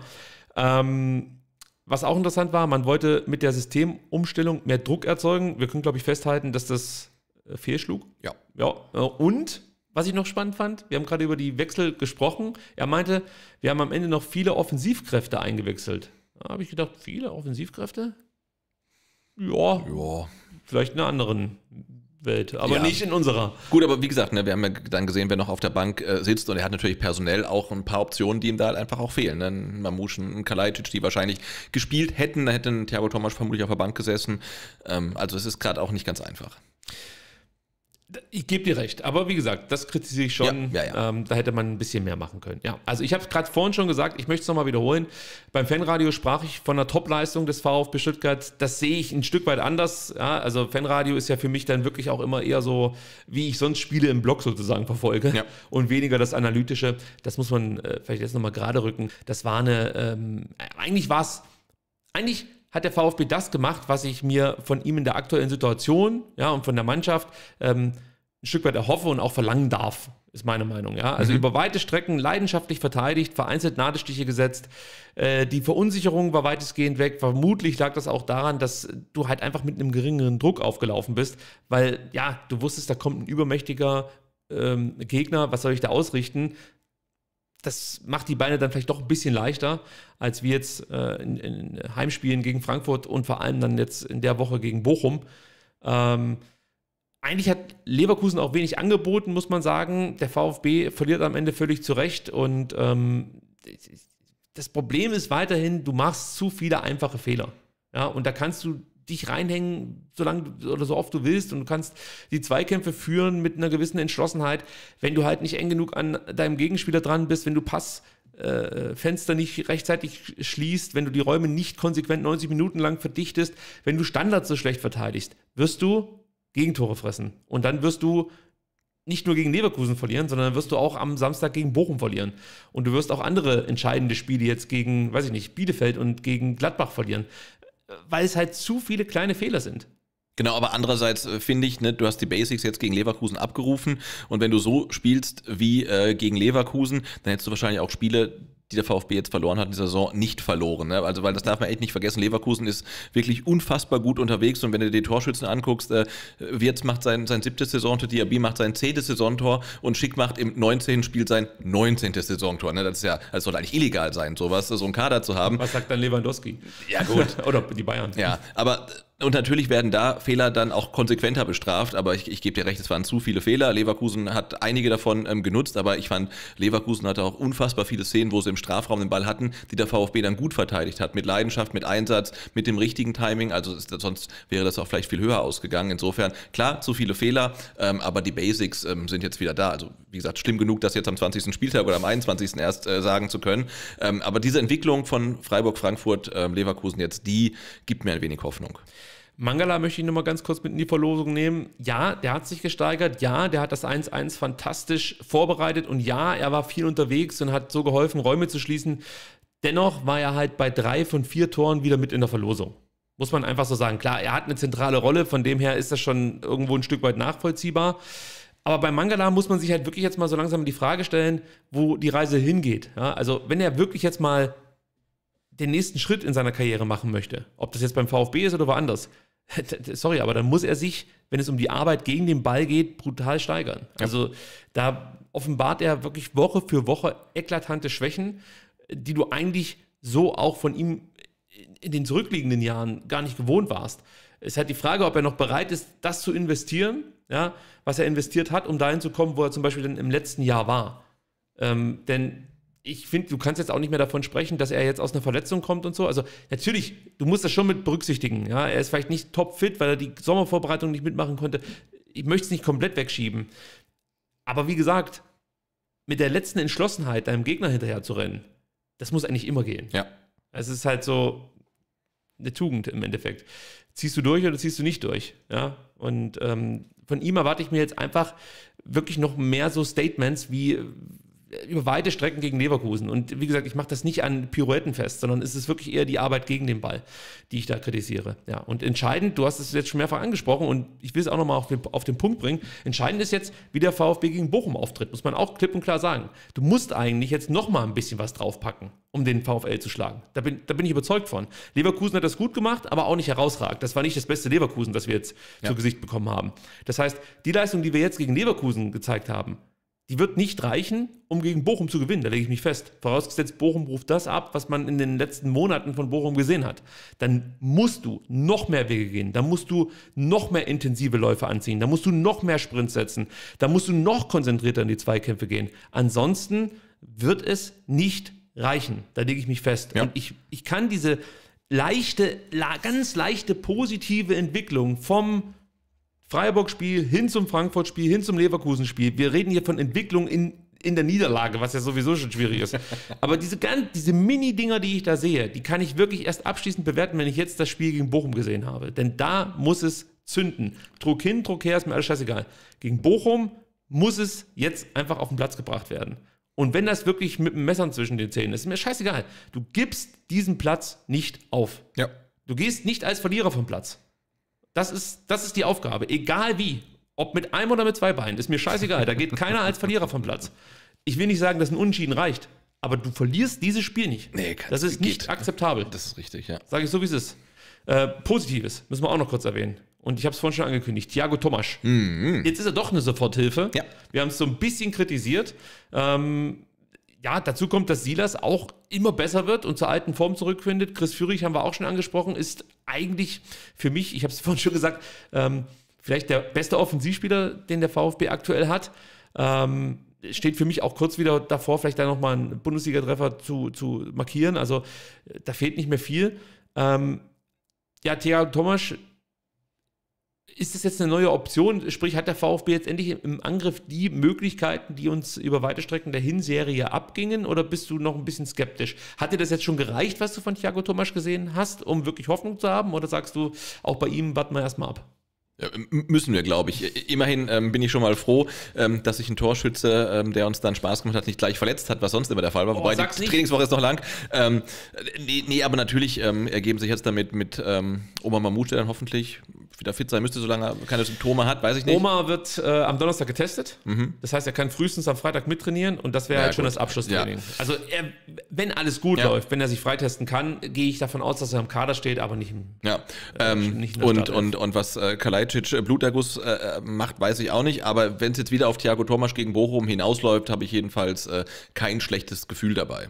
Also, das ist ja auch schon mal was. Ja, absolut. Und wir werden natürlich nachher ausführlich über Bochum sprechen und unseren Startelf-Tipp abgeben. Und dann gucken wir mal, wo wir Thiago Thomas positionieren. Jetzt hören wir uns Florian Müller an, der auch noch was zum Spiel gegen Leverkusen zu sagen hat.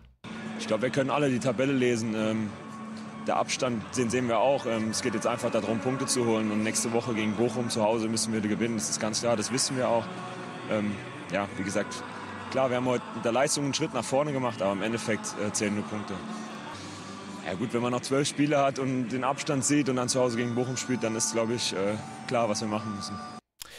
Ja, wie immer auf den Punkt, würde ich sagen. Ähm, und was er auch gesagt hat, mit der Leistung hat man einen Schritt nach vorne gemacht, aber es zählen jetzt nur Punkte. Also diese Klarheit bei Flo Müller, die gefällt mir grundsätzlich. Ja, sehr. Äh, er bringt es da wirklich immer gut auf den Nenner. Also das äh, gefällt mir, wie gesagt. Und ich, ich glaube, der Druck gegen Bochum, der wird immens sein. Oh ja. Äh, wenn er jetzt schon sagt, wir wissen ganz genau, was es jetzt gegen Bochum braucht, ist, ist, ist ja auch so. Aber ich bin gespannt, ob, ob die Mannschaft mit diesem Druck dann umgehen kann. Weil wir haben es vorhin off-air schon besprochen. Eigentlich hat der VfB Stuttgart bislang in der Saison nur eins bewiesen, dass er mit Druck nicht umgehen kann. Und auch da braucht es jetzt eine Wende. Ja. Aber wir haben eigentlich schon alles dazu gesagt. Chris Führig meinte noch, wir bleiben standhaft. Im nächsten Spiel schießen wir die Tore und holen die drei Punkte. Wir wissen, dass wir Punkte brauchen, aber ähm, alle bleiben dran und arbeiten hart. Und dann sagte er noch, es sind noch genug Spiele. Das war, glaube ich, eine Antwort auf eine Nachfrage, ob das jetzt gegen Bochum schon ein Endspiel ist. Ja. Das wurde danach auch wieder Social Media mäßig so ein bisschen durchdiskutiert. Ich glaube, was er damit sagen möchte, ist, ja, wenn wir jetzt gegen Bochum verlieren, steigen wir nicht ab. Genau. So, wir haben dann noch weitere äh, elf Partien. So, De facto ist es aber so, wenn du jetzt gegen Bochum verlierst, verändert das wahrscheinlich die komplette Saison dahingehend, dass man sehr wahrscheinlich über den Trainer sprechen wird. Ja. Darauf wird es dann, also das wirst du fast nicht verhindern können hier in Stuttgart. Und auf der anderen Seite wird natürlich dann irgendwann der Abstand so groß, man stelle sich nur vor, ähm, Augsburg und ähm, Hertha, Hertha 15. Hm, nee, Bielefeld, Bielefeld, Bielefeld ja. sind 15, ist 15. Die gewinnen ihre Spiele. Ich glaube, die haben auch nicht die, die allerkrassesten Gegner, müssen wir nachher nochmal gucken. Ähm, dann hast du plötzlich nicht mehr vier Punkte Rückstand, sondern sieben. Also, sorry, äh, dann wird es halt wirklich irgendwann mal fast nicht mehr möglich, auch wenn es rechnerisch theoretisch noch Ja. zu erreichen wäre. Also, der Druck wird immens sein. Ähm, wen ich auch noch kurz mit äh, ins Boot holen muss, ist Sven Missentat, denn der war natürlich zu Gast im aktuellen Sportstudio, wie das so üblich ist.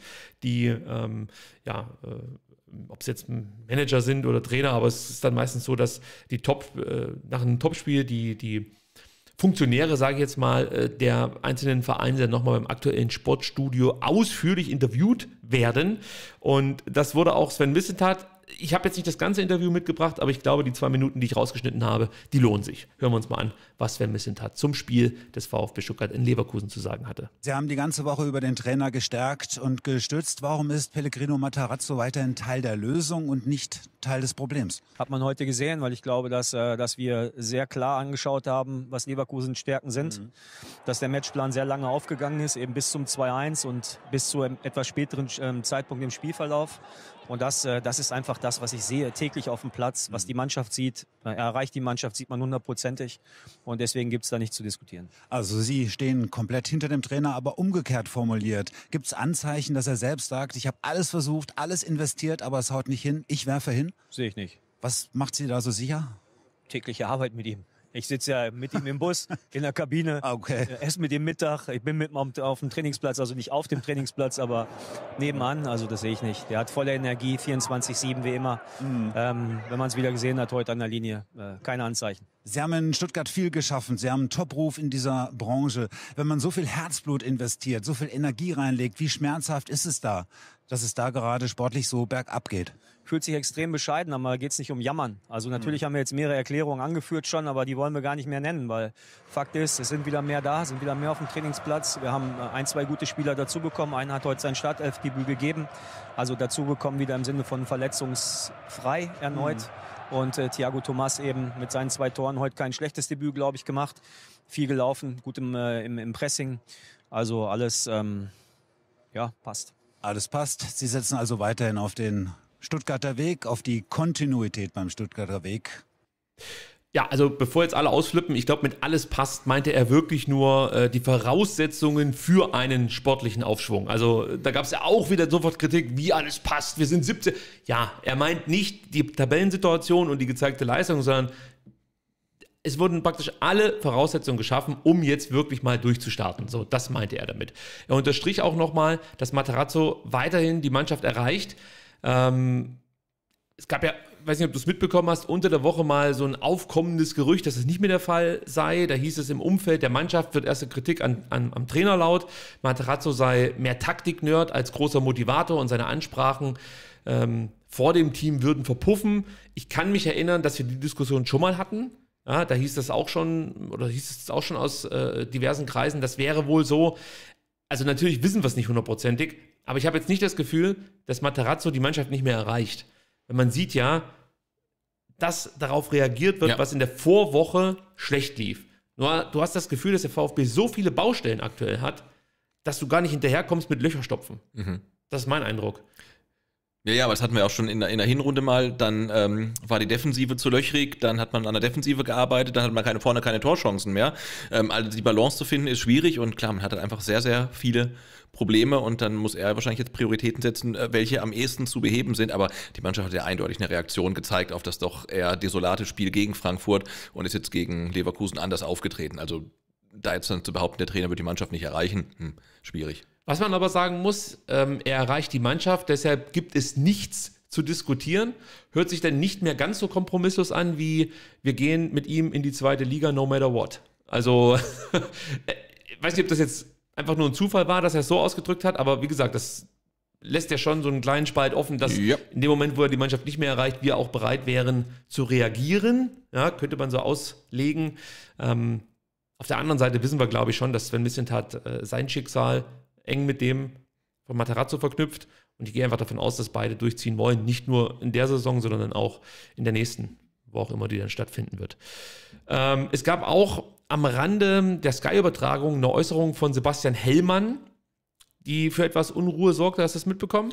Äh, nur am Rande. Ja, der ließ sich zu, zu ähm, ja, so einer Randbemerkung hinreißen, dass Klaus Vogt intern angeblich zwischen Misslintat-Spielern und Nicht-Misslintat-Spielern unterscheiden würde. Aha. Ja, also würde mich überraschen, weil also Klaus Vogt, wir haben ihn ja auch schon kennengelernt, das ist ja äh, ist ein toller Typ, keine Frage, aber ich würde jetzt mal sagen, so, dass er sich da anmaßt, ähm, das nicht falsch verstehen, ja, aber dass er sich jetzt anmaßt, das besser bewerten zu können und da wirklich sportliche Rückschlüsse zu ziehen, äh, das kann ich mir fast nicht vorstellen. Also so, hab, so, so ist er eigentlich nicht. Ja, und vor allen Dingen, wie soll sich das äußern, wenn der Präsident zwischen Misslintat-Spielern und Nicht-Misslintat-Spielern unterscheidet? Also grüßt er die einen auf dem Flur und die anderen nicht? Also er hat geht, ja. glaube ich, um Kaderplätze, die vergeben werden. Okay. Ja, ähm, wie gesagt, es ist, du hast das Gefühl, dass natürlich jetzt auch viele Medienschaffenden sich selber die Stories bauen möchten, die sie gerne schreiben wollen. Also du hast halt auf der einen Seite den VfB, der klipp und klar sagt, ja, wir gehen mit dem Trainer zur Not auch in die zweite Liga. Der Sportdirektor sagt, also wenn ihr mich wollt, ich bleibe hier. Der Präsident sagt beim SWR, also pff, wir versuchen alles, dass wir nicht absteigen, aber wenn wir absteigen, wir stehen hinter Trainer und Sportdirektor. Da gibt es jetzt nicht allzu viel rauszuholen aktuell. Die Mannschaft ist ruhig, da gibt es auch keinen, der nach vorne geht, Unzufriedenheit zeigt, obwohl wir einen 31 Mann starken Kader haben.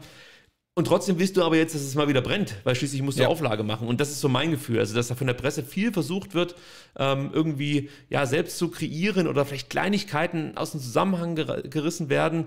Ähm, und es mag ja sein, dass Klaus Vogt mal irgendwann gesagt hat, das, das halte ich durchaus für möglich. Wenn wir jetzt in den Kader schauen, sehen wir nur Missentat-Spieler und kaum Spieler, die er nicht geholt hat. Das, das kann ja sein, dass er das gesagt hat, aber der Kontext ist halt dann wichtig. Ja. Und, und der fehlt jetzt ja auch von Sebastian Hellmann, ähm, der das einfach mal so reinwirft. Äh, merkwürdig. Also Materazzo meinte dann noch äh, am Rande des Interviews, äh, oder beziehungsweise auf, auf ähm, ja, er wurde auf die Zufriedenheit mit der Kaderplanung angesprochen. Da meinte er, Sven hat äh, seine Meinung, ich habe meine Meinung, wenn es um die Kaderplanung geht. Am Ende entscheide ich, wer auf dem Platz steht. Er trifft die Entscheidung, äh, Entscheidungen im Kader. Wir haben klare Rollen und Verantwortungsbereiche. Es bleibt konstruktiv, produktiv und auch immer wieder hitzig, aber aus meiner Sicht funktioniert es gut. So, also da wurde auch da wurde schon wieder, ja Mensch, hm, da hat er offensichtlich auch eine andere Meinung, was die Verpflichtungen von diversen Spielern angeht. Ich glaube, wir machen es uns da selber zu kompliziert. Also wir, meine ich jetzt wir Fans. Ja. Ich, ich glaube, das funktioniert zwischen Materazzo und Missentat richtig gut. Natürlich wird es mal so Verpflichtungen geben, wo Materazzo sagt, ja, was weiß ich, was ich jetzt mit dem anfangen soll, ähm, den kenne ich gar nicht. Und der Missentat sagt, nimm den, der ist es, der ist es. Und dann kann es auch mal sein, dass sich beide äh, fetzen und äh, vielleicht auch streiten. Finde ich, gehört irgendwo dazu. Also das braucht halt auch klar. eine Streitkultur, eine gewisse. Ähm, auch da würde ich sagen, müssen wir uns, glaube ich, jetzt nicht allzu große Sorgen machen, dass Materazzo hier komplett verzweifelt ist mit seinem Kader. Ich glaube, das passt Das, das glaube ich nicht, das Ja. glaube ich nicht. Ja, ich würde sagen, ähm, damit haben wir eigentlich das Spiel soweit besprochen. Mhm. Und wir schauen mal auf den Spieler der Saison, Sebastian. Mhm. Da war wieder richtig was los. Du merkst, wenn der VfB ein bisschen besser spielt, ja. also noch nicht mal gut, aber ein bisschen besser, dann haben auch mehr Leute Lust, äh, Stimmen abzugeben für den Spieler der Saison. Ja, hey, aber vier Tore in zwei Spielen, ne? Geschossen, nicht bekommen. das, also das stimmt. Wahnsinn. Ja, bekommen. Ja, Da reden wir jetzt nicht drüber, wie Nein. viel das waren. Äh, aber insgesamt gab es 327 gültige Stimmen und Sebastian, die meisten Stimmen auf Twitter erhielt, natürlich, Thiago Tomasch. Natürlich. 168 Stimmen hat er bekommen. Auf Platz 2 dann Atakan Karasor mit 98 erhaltene Stimmen. Und auf Platz 3 Chris Führig mit 37 erhaltene Stimmen. Also, Thiago Thomas kriegt drei Punkte von euch. Atakan Karasor 2, Chris Führig einen. Für alle, die das irgendwie nicht genau wissen, was wir hier machen, ich erkläre es nochmal ganz kurz. Wir wählen jeden Spieltag äh, unsere Spieler des Spiels, muss man eigentlich sagen. Das läuft so ab. Ähm, Sebastian, ich und Twitter haben sechs Punkte, die sie vergeben können auf die eingesetzten Spieler.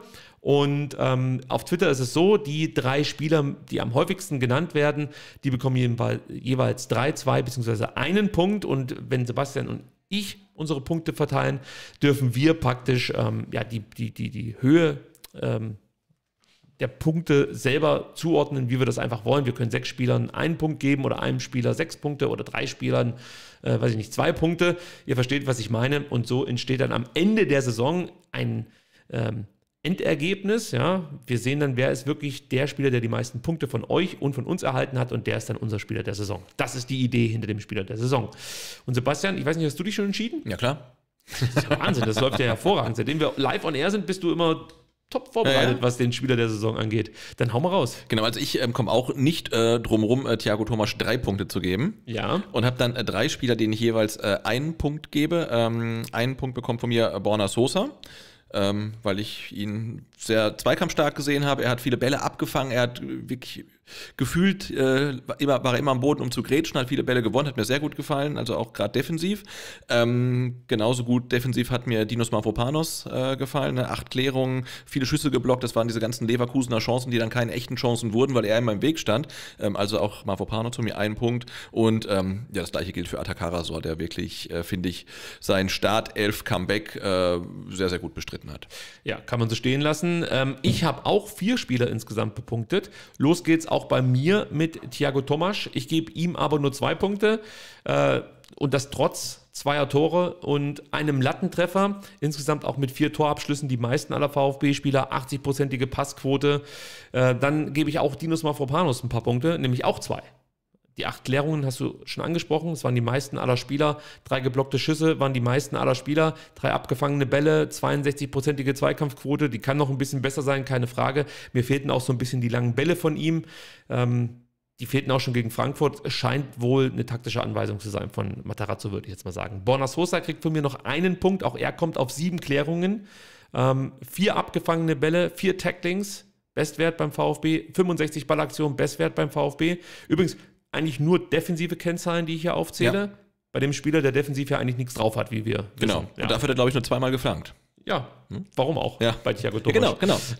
Und äh, dann gebe ich auch noch Atakan Karasor einen äh, Punkt. Er führte viele Zweikämpfe, gewann 62 Prozent seiner Zweikämpfe, vier Tacklings, genauso viele wie Borna Sosa. Ähm, sehr ballsicher und brachte halt wirklich Stabilität in die Defensive. Und ähm, ja, war für mich ja, ein Grund dafür, dass der VfB sich überhaupt Hoffnung auf den Punkt machen durfte. Also das ist ähm, meine Punkteverteilung. So, dann haben wir das Thema auch schon abgearbeitet und vorne habe ich was ganz Entscheidendes vergessen, Sebastian. Uh. Eigentlich habe ich immer ähm, jetzt bei den Live-Shows mir angewöhnt, im Vorfeld den Leuten mitzugeben, wann wir über welches Thema sprechen. Stimmt, der Fahrplan. Komplett vergessen. Deswegen holen wir das jetzt nach und das ist gar nicht so schlimm, Ja, das denn ich kann die jetzt Zeiten nicht bei, anpassen. bei Zeiten bescheißen, ne? So sieht's aus. äh, jetzt geht's gleich weiter mit dem Spiel gegen Bochum. Das besprechen wir ungefähr eine halbe Stunde lang. Das heißt so bis um 21 Uhr. Und dann werden wir über Rainer Adrian sprechen, der der Stuttgarter Zeitung ein Interview gegeben hat und werden so ein paar Aussagen von ihm ähm, ja, sezieren, würde ich fast schon sagen. Ähm, gegen 21.30 Uhr geht es dann ums NLZ, U21 und U19 und gegen 21.45 Uhr haben wir noch ein kleines, aber schönes Rausschmeißerthema für euch und dann soll es das auch gewesen sein, obwohl es noch ein Bonusthema gibt, das wir aber nur mit reinnehmen, wenn die Zeit reicht, weil es ist dann ein bisschen trocken, würde ich Ja, sagen. ja, ja. ja, mal gucken, ob wir das noch machen. Ich, ich komme nicht davon los, Sebastian, das, das, das kann ich schon mal sagen. Gut, Ja, ich gehe dann und äh, gehe Champions League gucken. genau. Dann kannst du drüber sprechen. Gut, dann kommen wir jetzt, würde ich sagen, zu den schwäbischen Playoffs. Ja. Ja, denn, Sebastian, da kommt sie schon, die Fanfare. Die berühmte Monday Night Football Fan- Fanfare, muss man sagen. Du bist ja großer Fan. Ja, ja. Der Blick sagt alles. Ja, warum habe ich mich äh, für diese kleine, aber feine Musik entschieden? Es ist das erste Endspiel für den VfB Stuttgart. Jetzt gegen Bochum. Ich würde sagen, es gibt eigentlich so zwei ähm, Playoff-Runden, könnte man fast schon sagen. Äh, es gibt jetzt noch insgesamt zwölf Partien, die der VfB streiten muss. Sechs, ähm, die nächsten sechs sind für mich wirklich die, wo man vermutlich den Grundstein legen kann für einen Klassenerhalt. Muss. Oder muss, Muss. oder halt wirklich alles verspielt. Ja. ja. Also wenn du so schaust, jetzt gegen Bochum, dann ähm, gegen Hoffenheim, dann geht es weiter zu Hause gegen Gladbach, auswärts gegen Union, zu Hause gegen, Biel, äh, gegen, äh, gegen Augsburg und dann auswärts gegen Bielefeld. Das sind die nächsten sechs Partien. Und wenn man sich das so anschaut, habe ich mir mal gedacht, eigentlich musst du aus diesen sechs Partien neun bis zwölf Punkte holen. Ja, ja, ja. Hältst du das für möglich? Ähm, Lass es uns durchgehen. Bochum, Sieg, Unentschieden, was sagst du? drei Punkte, klar. Drei Punkte. In Hoffenheim. Äh, ein. Oh, das ist optimistisch. Ja. Hätte ich gesagt null. Äh, zu Hause gegen Gladbach. Einen. Sag ich drei. Ja. Sind wir bei sechs und du bist bei vier. Ähm, Union auswärts. Keiner. Ja, gehe ich mit. Ähm, Augsburg zu Hause. Drei. Bei mir auch. Bin ich bei neun. Du bist bei sieben. Mhm. Und dann Bielefeld. In Bielefeld. Drei. Sage ich auch. Ja. Dann bin ich bei zwölf und du bist bei Zehn, glaube ich. zehn. Ja, easy. Also neun Ja. bis zwölf Punkte. Ja. Dann ist das schon mal safe, oder? Ja. Nein, aber es ist halt so. Also du hast jetzt wirklich drei ganz entscheidende Spiele und ähm, wenn du jetzt einfach mal die- diese nächsten zwölf, nennen wir es jetzt einfach mal Playoffs nimmst, ja, äh, was denkst du, wie viele Spiele kann der VfB da eigentlich sich noch ähm, als Ausrutscher leisten? Also wie viele Spiele darf man noch verlieren, um an, äh, am Ende die Klasse zu halten? Oh, schwierige Frage. Da muss ich mir das jetzt mal angucken. Ich weiß nur, dass du die Spiele, die du gewinnen kannst, also auf dem Papier gegen, gegen Bochum, zu Hause gegen Augsburg, äh, gegen Bielefeld, ähm, auch dann die Hertha wahrscheinlich noch. Also, dass du die, die in diesen Spielen dreifach punkten musst, um nicht abzusteigen. Also ich glaube, komm, wir machen mal die nächsten sechs auch noch. Okay. Du hast dann zu Hause Dortmund, null, oder? Ja, null. Dann auswärts Mainz. Also da könnte ich mit einem leben. Ja, einer. Einer. Auswärts Hertha, Einer. auch einer, ja, gehe ich mit, zwei Punkte. Dann zu Hause Wolfsburg, Musste gewinnen. musste gewinnen, bist du bei fünf. Bayern, Streichergebnis. Ja. Und dann zu Hause gegen Köln musst du gewinnen. Ja. Dann bist du bei acht. Ja. Dann wäre ich bei 20 Punkten. Aber das ist alles schon sehr optimistisch getippt. Leider, ja, ja.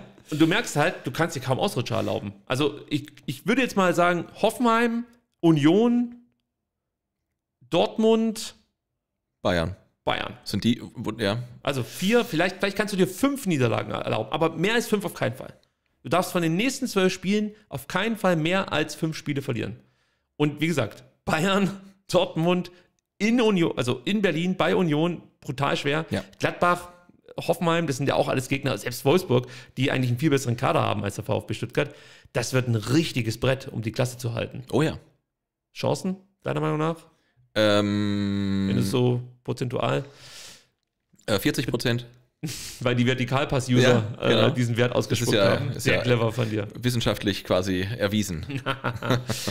Also ich, ich bin schon sehr nervös, muss ich sagen. Und äh, dieses Spiel gegen Bochum ist für mich jetzt wirklich das erste Playoff-Spiel. Wir haben ja gestern so ein bisschen hin und her geschrieben, wie, wie nennen wir die Sendung heute? Und das ist es eigentlich. Also alle reden von Playoffs, wir haben sie jetzt Ja. und müssen jetzt direkt delivern. Und das Gute ist, es dürfen ja wieder Zuschauer ins Stadion und es werden auch ähm, alle 10.000, die ins Stadion dürfen, äh, ins Stadion kommen, denn die Tickets sind alle an Frau und Mann gebracht, muss man sagen. 10.000 äh, Karten wurden verkauft und das ist jetzt mein Appell, bitte, bitte macht Lärm. Ich weiß nicht, jeder ist ein Capo und nicht jeder möchte immer mitsingen. Aber es geht jetzt hier nicht darum, ob ich mich irgendwie blamiere oder sonst irgendwas. Es geht jetzt hier um VfB Stuttgart. Ihr müsst, ihr müsst dieses Stadion, ihr seid nur 10.000, aber ihr müsst dieses Stadion verbal gesehen brennen lassen. Man muss ja, Ja. auch vorsichtig Ja, sein, wenn man sowas sagt, nicht, dass ich direkt verhaftet werde. Also ihr müsst es nicht brennen lassen, es muss einfach laut sein. Es muss wirklich laut sein. Sven Missentat hat auch gesagt, alle gegen den VfL Bochum, damit meint er nicht nur seine Spieler, sondern natürlich auch das Publikum.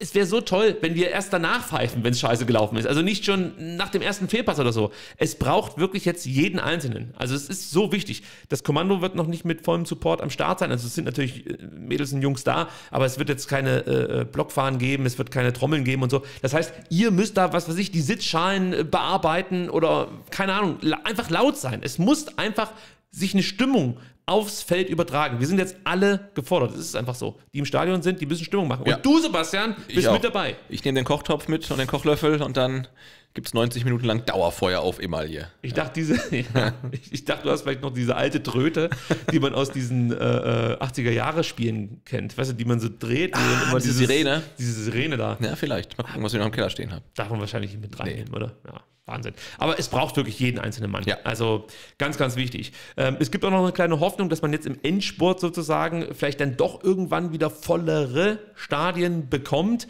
Laut äh, dem ersten Beschlussvorschlag für den Bund-Länder-Gipfel jetzt am morgigen Mittwoch dürfen ab dem 4. März bei einer Auslastung von maximal sech- 60 Prozent wieder bis zu 25.000 Fans ins Stadion. Und das wäre natürlich für den VfB auch nochmal ein Pfund. Ja. Ja, also 25 ist schon mal nicht so schlecht, würde ich sagen. Genau, das haben wir die Saison schon ein paar Mal gehabt. Da ist dann schon ganz gut Stimmung eigentlich und wäre für den VfB, glaube ich, nicht nur finanziell wichtig, um nicht jedes Heimspiel mit, einem, äh, mit einer roten Zahl irgendwie abzuschließen, sondern halt auch stimmungsmäßig für die Mannschaft äh, wäre das wichtig. Klar, wir wissen auch, wenn es nicht läuft, dann wird das Stadion unruhig, aber trotzdem, ich glaube, äh, dass der Support der Fans im Abstiegskampf eine ganz entscheidende Rolle spielen kann. Absolut, absolut. Also gerade wenn du dir überlegst, gegen wen du dann ähm, jetzt gegen den Abstieg spielst. Also du hast halt Augsburg und Bielefeld. Also Augsburg weiß ich jetzt nicht, ob man das Support nennen kann, aber da ist zumindest, also die, die wissen halt, um, ja, es geht gegen den Abstieg und dann, keine Ahnung, wie nennt man das, drehen sie halt ihre bescheuerten Rätschen, äh, keine Ahnung, was sie da so machen. Und in Bielefeld ist ja grundsätzlich immer gute Stimmung. Ja. Die feiern das ja äh, komplett ab, was da passiert. Und wenn dann bei uns halt so eine Mieserpeter-Stimmung die ganze Zeit herrscht, bei jedem Fehlpass wird gepfiffen, also es hilft zumindest nicht, würde ich sagen. Ja? Die 25k würden ähm, das nächste Heimspiel gegen Gladbach betreffen, das ja am 5. März 18.30 stattfindet. Samstagabendspiel meine ich. Also da könnte es dann vielleicht schon ein bisschen voller werden. Ähm, das Ganze dann auch wieder unter 2G-Plus-Regelung und das Tragen einer medizinischen Maske soll verpflichtend sein. Äh, das ist auch sowas, also ich verstehe das nicht mit den Masken im Freien, aber es ist egal dann trinkt ihr halt die ganze Zeit Bier. Also es wird euch nicht so schwer fallen, diese Maske irgendwie zu umgehen. Also ich sage jetzt ganz ehrlich, also da habe ich kein Verständnis mehr dafür, dass ich jetzt in einem Stadion, das mit, mit 10.000 Menschen besetzt ist oder auch mit 25.000 immer noch mit einer Maske rumrennen muss. Wenn ich aufs Klo gehe und dann wird es ein bisschen enger, kann ich alles verstehen, aber auf dem Platz macht es für mich überhaupt keinen Sinn. Ähm, sei es drum. Es gibt noch einen weiteren Lichtblick, denn ab dem 20. März sind laut der Vorlage auch wieder volle Stadien denkbar, muss man sagen. Also immer noch Ja. mit äh, der Einschränkung, wir müssen mal abwarten, wie sich alles entwickelt. Aber theoretisch könnte es dann wirklich im, in der Schlussphase ähm, so sein, dass wir volle Stadien haben dürften. Ob die dann auch voll werden, ist nochmal Andere Frage. andere Frage. Aber das würde dem Mhm. VfB schon helfen. Ja. Gut, wir reden die ganze Zeit von Endspiel für den VfB Stuttgart. Dabei bin ich der Meinung, auch für Bochum, und damit kommen wir jetzt zur Gegnervorschau, auch für Bochum ist das eine Art Endspiel, denn wenn sie Stuttgart schlagen, hätten sie 13 Punkte Vorsprung auf einen direkten Abstiegsrang. Und ja, also weiß ich jetzt nicht, ob du das an elf Spieltagen noch verspielen kannst. 13 Punkte Vorsprung, fast nicht denkbar. Schwierig, ja. Ja, also für die ist es halt auch nochmal besonders wichtig, dieses Spiel jetzt unbedingt zu gewinnen, weil dann sind sie eigentlich durch, muss Ja. man sagen. Sie sind jetzt schon so gut wie durch, aber äh, ich glaube, dann können sie echt einen Haken dahinter machen. Ja. Bochum, wenn man die so sieht, ist es wahrscheinlich aktuell die entspannteste Mannschaft der Liga. Ja, die haben einfach Bock zum Zocken. Und das merkt man jetzt nicht nur beim Spiel gegen die Bayern, dass sie mit 4 zu 2 gewinnen konnten am vergangenen Samstag, sondern das merkst du eigentlich äh, in jeder Partie. Sie spielen aggressiv, sind mutig, sind vielleicht vergleichbar mit dem VfB in der vergangenen Saison. Also sie haben einfach diese Lockerheit, die du brauchst, um dann vielleicht auch mal so Überraschungen zu ziehen, wie jetzt gegen die Bayern. Ja. Ja, also das sieht schon sehr, sehr gut, auch, gut aus. Die Bochumer starteten eher überschaubar, muss man sagen. Ich kann mich noch erinnern, als wir äh, vor dem Hinspiel über die Bochumer gesprochen haben. Da kam sie nämlich gerade ähm, mit einer 0, äh, 0 zu 7 Klatsche aus München zurück. Stimmt, ja. Ja, und wir dachten, das ist der richtige Gegner, um jetzt endlich mal eine Serie zu starten. Das wird so wie gegen Fürth, ne? Dachte Ja, man ja. Vielleicht, ja. Ja, und ähm, man muss auch sagen, sie hatten nach sieben Spieltagen gerade mal vier Punkte auf dem Konto. Das ist natürlich absurd gewesen. Äh, dann fanden sie aber den Schalter und vor allem in der Defensive haben sie was verändert. Ja, also nochmal zurück zu diesem 0 zu 7 in München, fünfter Spieltag. Ähm, danach ist der, ist der Coach Thomas Reis vor die Mannschaft getreten und hat ihnen wirklich klargemacht, dass sie in der Bundesliga nur bestehen können, wenn sie gemeinsam und konsequent gegen den Ball arbeiten und wirklich ja, also mit Leidenschaft verteidigen. Und diese Ansprache hatte Erfolg, denn dann kommt eine Statistik zustande, Sebastian, die ist, die ist spektakulär. Zwischen Spieltag 6 und Spieltag 22 kassierte kein anderes Bundesliga-Team weniger Gegentore als Bochum. Hui. Die haben nur 19 Gegentreffer kassiert, der VfB zum Vergleich im selben Zeitraum 30 Gegentreffer. Und wie gesagt, sonst gab es kein Bundesliga-Team, das weniger Gegentreffer kassiert hat als die Bochumer. Ja, wir reden ja quasi von einer halben Spielzeit. Ja. Irre. Also das ist echt krass. Ähm, und was auch interessant ist, in der Rückrunde hat sich Bochum nochmal deutlich verbessert, gerade in der Defensive. Äh, und da rede ich jetzt, was das Zulassen von Chancen angeht, also über, über dieses Thema. Da ist nur Wolfsburg in der Rückrunde stärker gewesen. Also nur Wolfsburg ließ in der Rückrunde weniger Chancen zu als die Bochumer. Und auch die Bochumer haben jetzt in der Rückrunde schon äh, starke Gegner gespielt, nicht zuletzt die Bayern. Ja. Äh, Im Ligavergleich blocken sie außerdem noch die meisten Torschüsse. Also das heißt, die Arbeit gegen den Ball ist eigentlich die Kernkompetenz der Bochumer. Dazu kommt dann natürlich noch unglaublich gutes Konterspiel. Kommen wir gleich noch drauf zu sprechen. Also gegen Bochum zu treffen ist nicht leicht, haben wir glaube ich schon rausgearbeitet. Ähm, das wird eine große Herausforderung für die VfB-Offensive. Eine Möglichkeit könnten Standards sein. So kassierten die Bochumer schon zehn Gegentreffer. Ähm, der, genauso viele wie der VfB übrigens. Also das heißt, wenn wir besonders schlecht sind bei Standards, müsste es sie ja auch sein. Immerhin sind es 31 Prozent ähm, der Gegentreffer, die sie so gefangen haben. Ähm, aber wie gesagt, sie können ja auch eine Menge ziemlich gut. Zum Beispiel das Flügelspiel. Ja, also Bochum spielt mit schnellen Außenbahnspielern. Auf links ist Holtmann eigentlich gesetzt. Der kann übrigens auch auf rechts spielen. Spielt dann invers, zieht dann nach innen.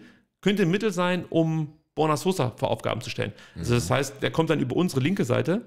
Und Borna ist ja ein, eher ein begleitender Verteidiger, sag ich jetzt mal so. Also der geht, Schön nicht gesagt, immer, ja. ja, geht nicht immer so drauf. Das heißt, wenn du den Holtmann jetzt ziehen lässt nach innen und guckst dir das einfach an, der, der zieht ja dann das Tempo an und ist weg. Da Ja. kommt auch Borna Sosa nicht mehr hinterher. Und der geht jetzt auch nicht so oft aufs Foul. Also es könnte ein Schachzug von Thomas Reis sein, dass er Holtmann auf die rechte Seite stellt. Müssen wir mal gucken, wie sich das dann am Samstag darstellt. Ähm, wenn er so spielt, wie er es eigentlich häufiger tut, dann, äh, wie gesagt, ist Holtmann auf links gesetzt. Auf rechts machen sich Gegner abhängig. Gegen Bayern glänzt jetzt Christopher Antwi Ajay, macht ein herausragendes Spiel. Deutlich häufiger versuchte ähm, Reis das Ganze mit dem Ex-Stuttgarter Takuma Asano. Der Jaguar, ja. Ja, genau. Und der, Pa- also äh, Asano und Mané, das war halt ein Ding irgendwie so. Das war eine Clique für mich. Ja. Und sind beide nicht mehr da. Ja. Asano spielt auch eine gute Saison in Bochum, muss man sagen.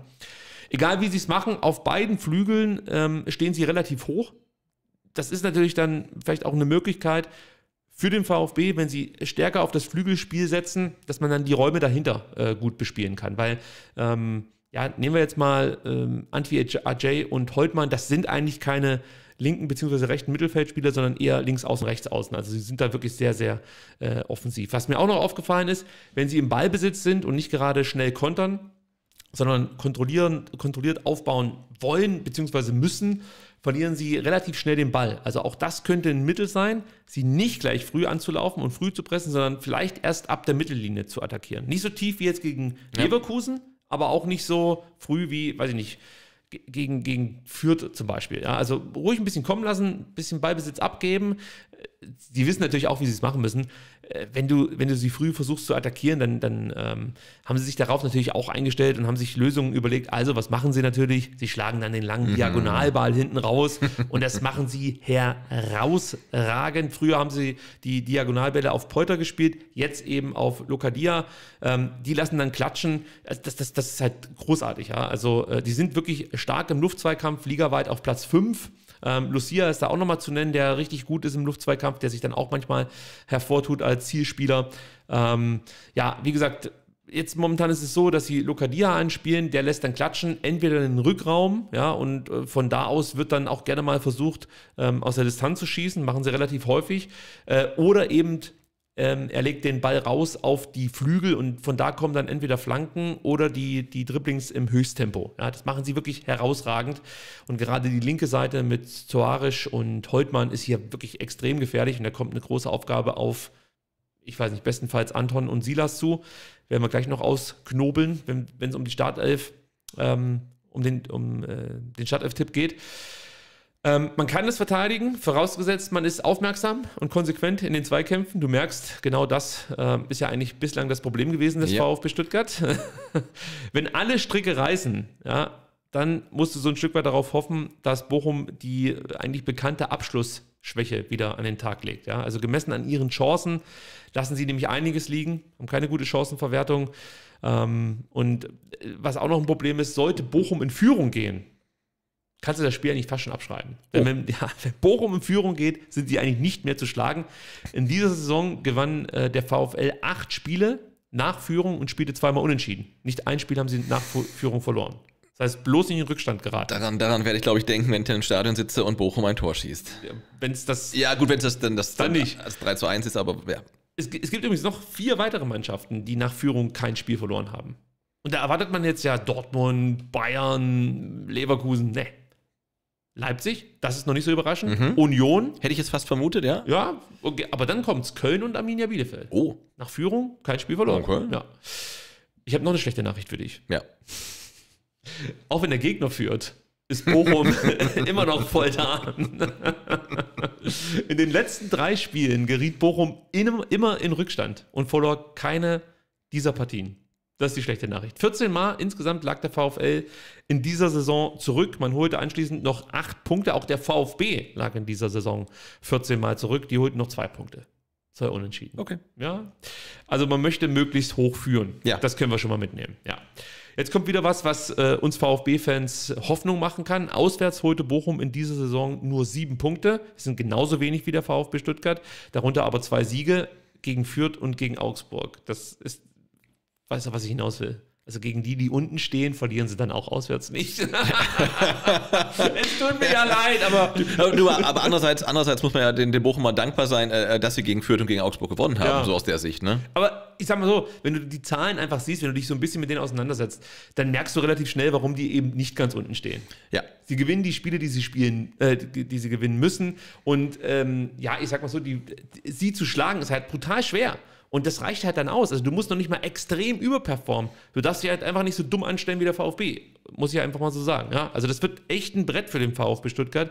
Und wir müssen dann auch aufpassen, dass wir eine gute Restverteidigung auf den Platz bekommen. Bochum setzt natürlich auf Balleroberungen und auf Konter. Und ähm, das Problem ist, das gelingt denen auch immer wieder. Ja? Also sie fangen viele gegnerische Pässe ab. Ich glaube, mit die meisten in der Liga. Auch das wieder ein absurder Wert eigentlich bei einem Aufsteiger, äh, über den ja alle gesagt haben, die gehen sofort wieder runter. Aber sie machen es echt gut, muss man sagen.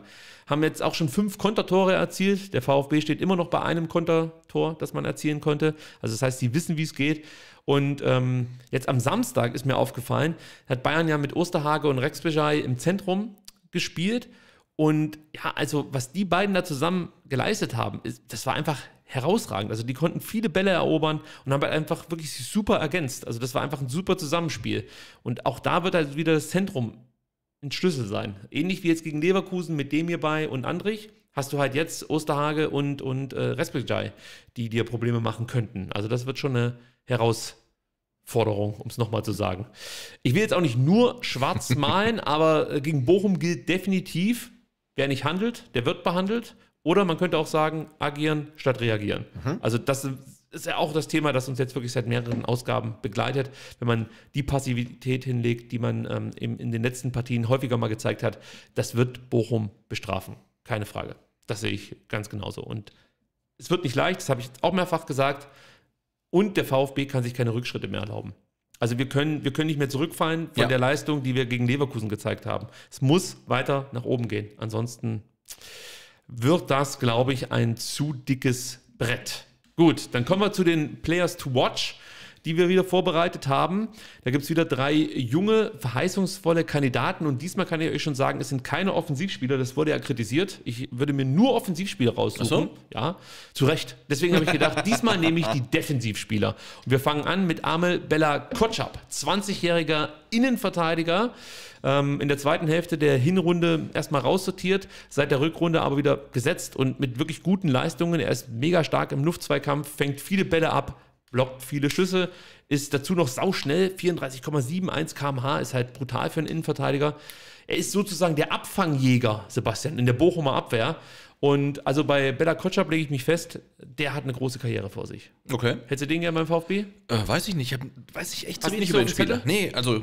Letztes Jahr Zweitliga ein bisschen geguckt? Äh, ja. Ja, und da- das war das, das junge Talent quasi, was erst richtig stark war und dann aber irgendwie so ein bisschen den Anschluss verloren oder abgetaucht ist wieder und jetzt ist er wieder da. Ja, also er hatte halt einfach eine Denkpause bekommen von, von Thomas Reis.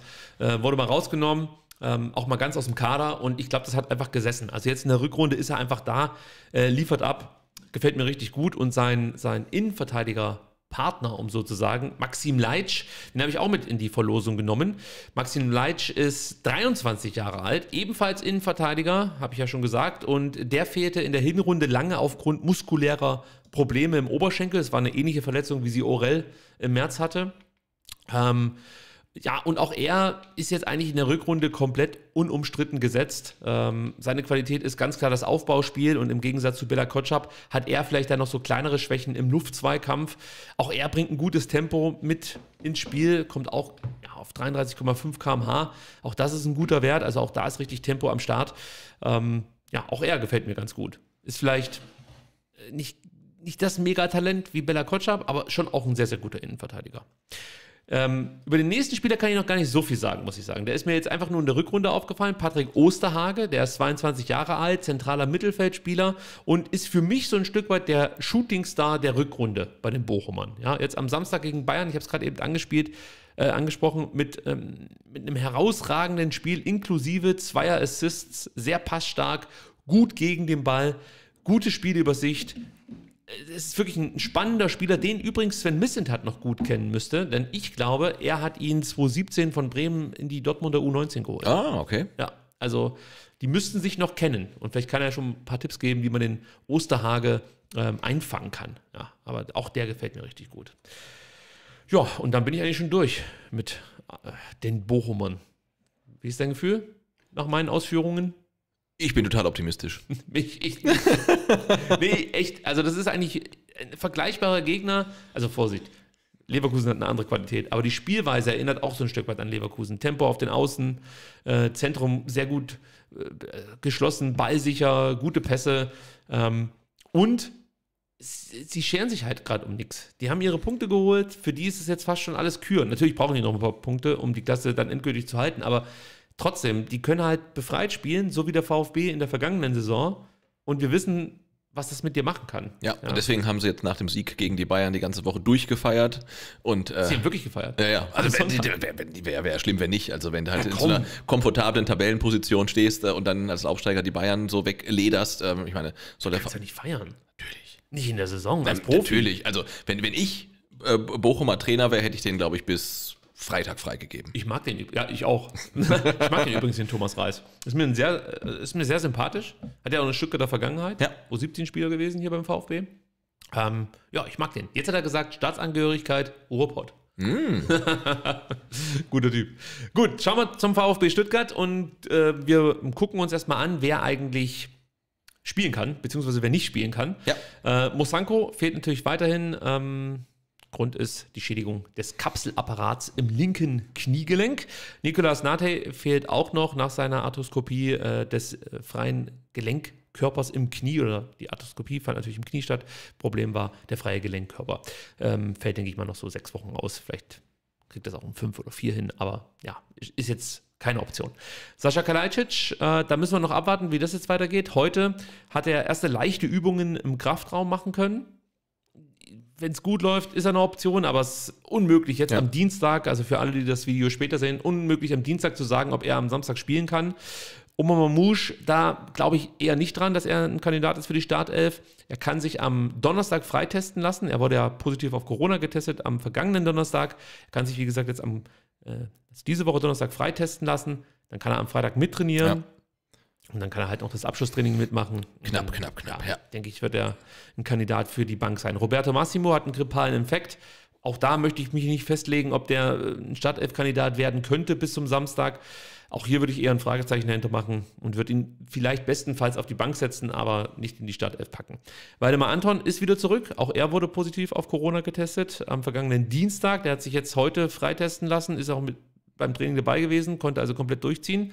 Clinton Mohler ist auch wieder fit, spielte am Samstag bei der zweiten Mannschaft. Ja, in der Innenverteidigung, ja, ne? erstaunlicherweise. Hat da einen guten Part, ja, in der Dreierkette ja, ja, teilweise also, ja. auch ähm, äh, gemacht. Also das, das, sah ganz ordentlich aus. Und ja, man merkt schon, der VfB hat endlich mal wieder Optionen. Ja, also noch, nicht, noch nicht die, die wir haben wollen würden, aber es werden mehr auf jeden Fall. Jetzt muss ich dich fragen, wenn es jetzt um den Startelf-Tipp geht, ja. können wir technisch wieder hier dieses Board an den Start bringen oder ist es schwierig? Ich glaube, das Problem ist, ich habe keine Vorschau ähm, auf diese Kamera und ich schalte es einfach mal um und entweder wir haben jetzt ein Bild oder nicht. Ich bin gespannt. Haben wir ein Bild? Also hier bin ich. Ja, also dann leg los. Ah, hervorragend. Da muss ich es jetzt ganz schnell machen, oder was? Nö, muss nicht schnell machen. Okay, also ich habe schon ein bisschen vorgearbeitet, denn ähm, jetzt musst du das hier irgendwie wieder einfangen. Ich frage dich dann danach, äh, wie du dich entscheidest in Sachen Aufstellung und so weiter und so fort.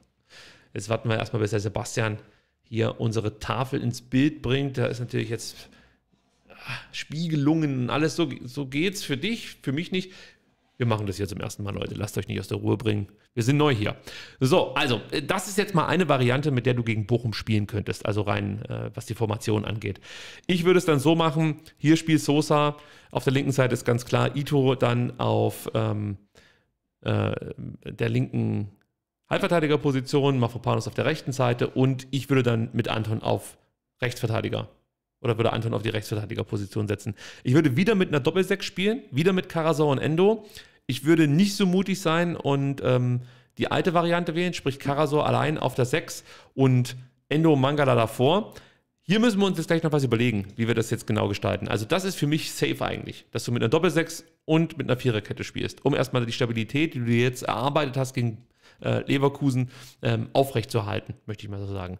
Und jetzt ist halt die Frage, wie machen wir es hier vorne? Da ist, hast du jetzt ein paar Optionen. Du kannst hier mit Mangala spielen, wieder als Achter, der sich dann auch mal fallen lässt auf die Sechs und die beiden hier hinten mit unterstützt. Also das ist natürlich in allen Variationen möglich. Hier kann natürlich dann auch mal ein Borna Sosa mit hochschieben. Ein Ito geht auf die linke Seite raus und dann rutscht hier hinten ein, Endo oder ein Karasor mit rein und dann bilden hier vorne eben die zwei dann plötzlich die, die äh, Doppel-6 und dann hast du Sosa hier wieder frei, der über die Flügel gehen kann.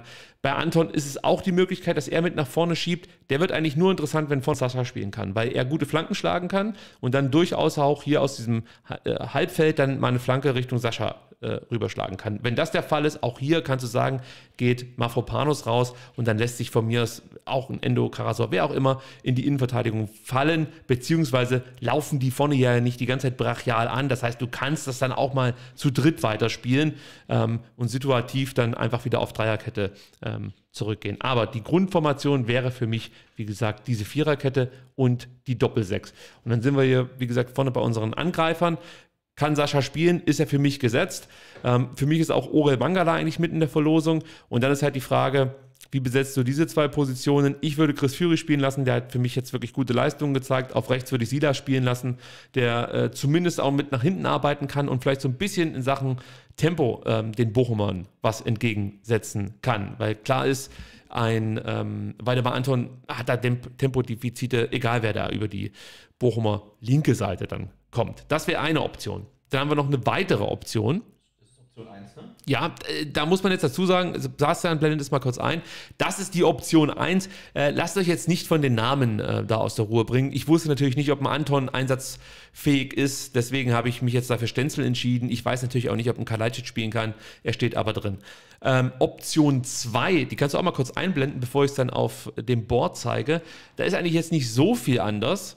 Ähm, ich habe mich dann nur hinten, ja, da, genau, hier habe ich mich jetzt für Anton entschieden. Genau, bei Option 2 sieht man das, hinten rechts spielt Anton. Also kannst du gleich direkt weitergehen zur Option 3. Das wäre die Option jetzt ohne Sascha Kalajdzic. Also auch hinten verändert sich wieder nichts. Fürich Silas spielen ähm, auf äh, äh, den Flügeln und vorne dann Thiago Thomas, der dann zum einen anlaufen kann äh, und auch in Sachen Tempo natürlich dann den schnellen Innenverteidigern was entgegensetzen kann. Das wäre auch eine Option.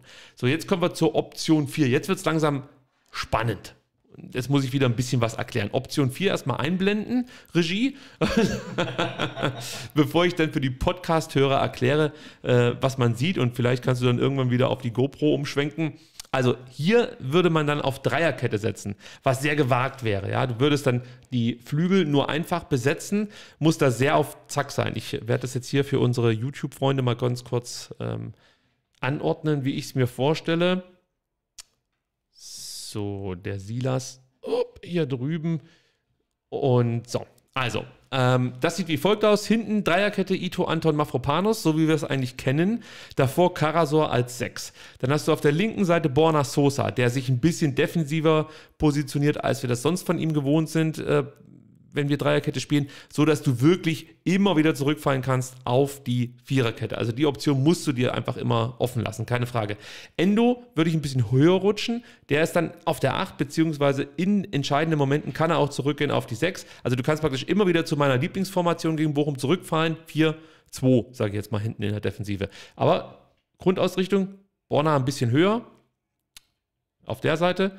Endo ein bisschen höher, eher als Achter und Orel Mangala noch ein bisschen höher, nicht als Zehner, sondern auch, also die, die müssen sich ergänzen. Verstehst du, was ich meine, Sebastian? Mhm. Wenn du es verstehst, verstehen es die Hörer auch. Ja, ich glaube schon. Ja, also die beiden müssen sich so ein Stück weit ergänzen. Da muss man natürlich gucken, über welche Seite greifen jetzt die Bochumer an. Kommen sie über die, also über ihre linke Seite, dann verschiebst du natürlich hier so ein bisschen. Dann geht der Orel da mal hin und der Endo schaltet sich mit nach vorne ein. Also das ist ja alles möglich. Oder läuft dann hier auch mal früher an. Diese Halbräume hat er ja auch schon in der Saison äh, beackert. Ja? Also er war ja nicht nur klassischer Sechster, sondern hat auch als Achter die Halbräume schon bearbeitet. Zeitweise war er auch mal Stürmer in manchen Spielen, kann ich mich erinnern, der war schon sehr, sehr weit vorne. Also du hast dann praktisch hier aus dem Zentrum heraus eine gewisse Kreativität mit und gegen den Ball. Das macht dich ein bisschen flexibler und unausrechenbarer für den Gegner. Auf der anderen Seite, wie gesagt, du hast nur zwei Flügelspieler, die das ganze Ding jetzt hier irgendwie wuppen müssen. Auf der linken Seite Borna Sosa, auf der rechten Seite Silas, der wie so ein verrückter hoch und runter rennen muss. Das ist wahnsinnig schwer. Warum nehme ich diese Option? Weil du vorne zwei Angreifer hast. Du hast einmal Sascha Kalajdzic, wenn er spielen kann, als äh, ja, Empfänger für Flanken, als Stallklatschspieler, den du dann auch mit Diagonalbällen immer wieder einsetzen kannst und hast dann Thiago Tomasch, der um ihn herum wie so ein Trabant die ganze Zeit kreist und dann wirklich derjenige ist, der A, die Bälle in Empfang nimmt, die Sascha klatschen lässt oder dann wiederum gleich auf die Außen äh, rausspielt. Silas geht da raus oder er spielt sie in die Tiefe auf Sascha. Also auch vorne hast du noch ein paar mehr Optionen, aber das ist eher die äh, Balls of Steel Variante. Ja, weil wenn das schief geht, geht es richtig schief. Das kann ich schon mal sagen. Dann kommen wir noch zur Option 5. Auch da würde man mit einer Dreierkette spielen. Sebastian blendet es gerade ein. Ist es jetzt 5 oder 6? Ich weiß es gar nicht. 5, genau. Mensch, heute habe ich echt viel vorbereitet. auch hier wieder mit Dreierkette. Ähm, ihr seht es schon, da ändert sich nicht allzu viel, außer dass ich auch vorne ja, auf einen Stürmer setze und statt mit Silas, mit Tomasch spiele. Warum mache ich das? Weil, jetzt muss ich es erstmal wieder kurz so ein bisschen richtig hinschieben, bevor ich da drüber spreche. Weil du dann auf die Bochumer Innenverteidiger vielleicht noch mehr Druck ausüben kannst. Weil natürlich ein Thiago Tomasch mit seiner Anlaufstärke, auch ein Chris Führig hat diese Qualitäten, äh, mehr Druck ausüben kann als ein Silas ähm, Katompa im Wumpa. Aber auch da das ist, das ist eigentlich eine Variante, das weiß ich nicht. Würde ich wahrscheinlich bei FIFA mal ausprobieren, aber ich glaube, da kriegst du aufs Maul, weil auch da sind halt die Flügel komplett offen. Gut. Mehr Varianten habe ich nicht. Wir können wieder zurück zum eigentlichen Bild. Nächstes Mal mache ich, glaube ich, nur vier. das war ein bisschen viel jetzt gerade. Mein Arm tut mir auch schon weh. Deiner wahrscheinlich auch, Sebastian. Äh, ja, du, es geht, es geht, es geht. Danke für deinen Einsatz. Also Ja, für jederzeit. alle, die jetzt mal Props raushauen wollen, an Sebastian, lasst einen Daumen da. Ja, und ein Abo wegen der 5000. Und ein Abo wegen den 5000. Gut, jetzt müssen wir uns natürlich noch festlegen, was die endgültige Aufstellung sein soll, Sebastian. Hast du einen Favoriten? Äh, irgendwas mit Viererkette. Okay. da gibt es ja nur drei Optionen. Ja. Doppelsechs, ja oder nein? Deiner Äh, Meinung nach. ja, Doppelsechs. Caraso Endo. Also dein, dein, deine Option 1, die ist ja sehr nah dran an dem, was wir jetzt gegen Leverkusen gesehen haben. Und ähm, ich hätte kein Problem damit, wenn wir das wieder so spielen. Ich bin halt ein Es- Langweiler, ja. Ja, es ist ja eigentlich nur eine Veränderung, ähm, beziehungsweise zwei, wenn Anton zurückkommt. Ja. Der spielt für Stenzel und vorne hast du Kalajdzic, der für Tomasz spielt. Ja. Ich kann mir nicht vorstellen, dass sie, also dass Führig raus muss. Ich kann mir auch nicht vorstellen, dass Silas rausgeht. Ich denke, Tomasz ist dann die erste Option, wenn Sascha spielen kann. Ja. Nehmen wir jetzt Sascha oder nehmen wir Tomasz? Was sagt dein Bauch? Ich, also ich sag Tomasz. Glaube ich auch. Also dann entscheiden wir uns für folgende Aufstellung. Hinten Müller, keine Frage. Sosa, Ito, Mafropanos und Anton bilden die Viererkette. Davor spielen Caraso und Endo auf der Doppelsechs. Mangala ist wieder so derjenige, der zum einen die Offensive ankurbeln soll, zum anderen natürlich hinten Räume verdichten muss. Über rechts kommt Silas, über links kommt Chris Führig und vorne ist er wieder am Start, der Goalgetter aus Portugal. Diego Tomasch. Thiago. Habe ich Diego gesagt? Ja. Das kommt noch. Wenn er wieder zwei Tore Okay. macht, dann nennt man Diego. Thiago Müller. naja, das war Quatsch. Gut, äh, kommen wir zu Rainer Adrian. Ja. Unser nächstes Thema.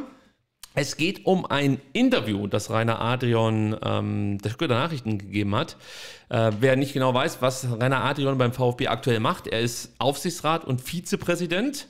Also schon mit einer wichtigen Aufgabe, was natürlich bei diesen Interviews immer ein bisschen schwierig ist, ist herauszufinden, äh, spricht er jetzt als Vizepräsident oder als Aufsichtsrat? Ja. Weil das eine ist natürlich, sag mal, eigentlich nur EV-relevant, das andere ist dann schon auch AG-relevant. Sprich, der Aufsichtsrat oder ein Mitglied des Aufsichtsrats kann natürlich dann schon auch so ein Stück weit ähm, mit in die AG einwirken, beziehungsweise auch Entscheidungen beeinflussen, die dann vielleicht ähm, sich weiterum, au- wiederum auswirken können auf ähm, ja, den Sportdirektor, beziehungsweise auf Trainer. So.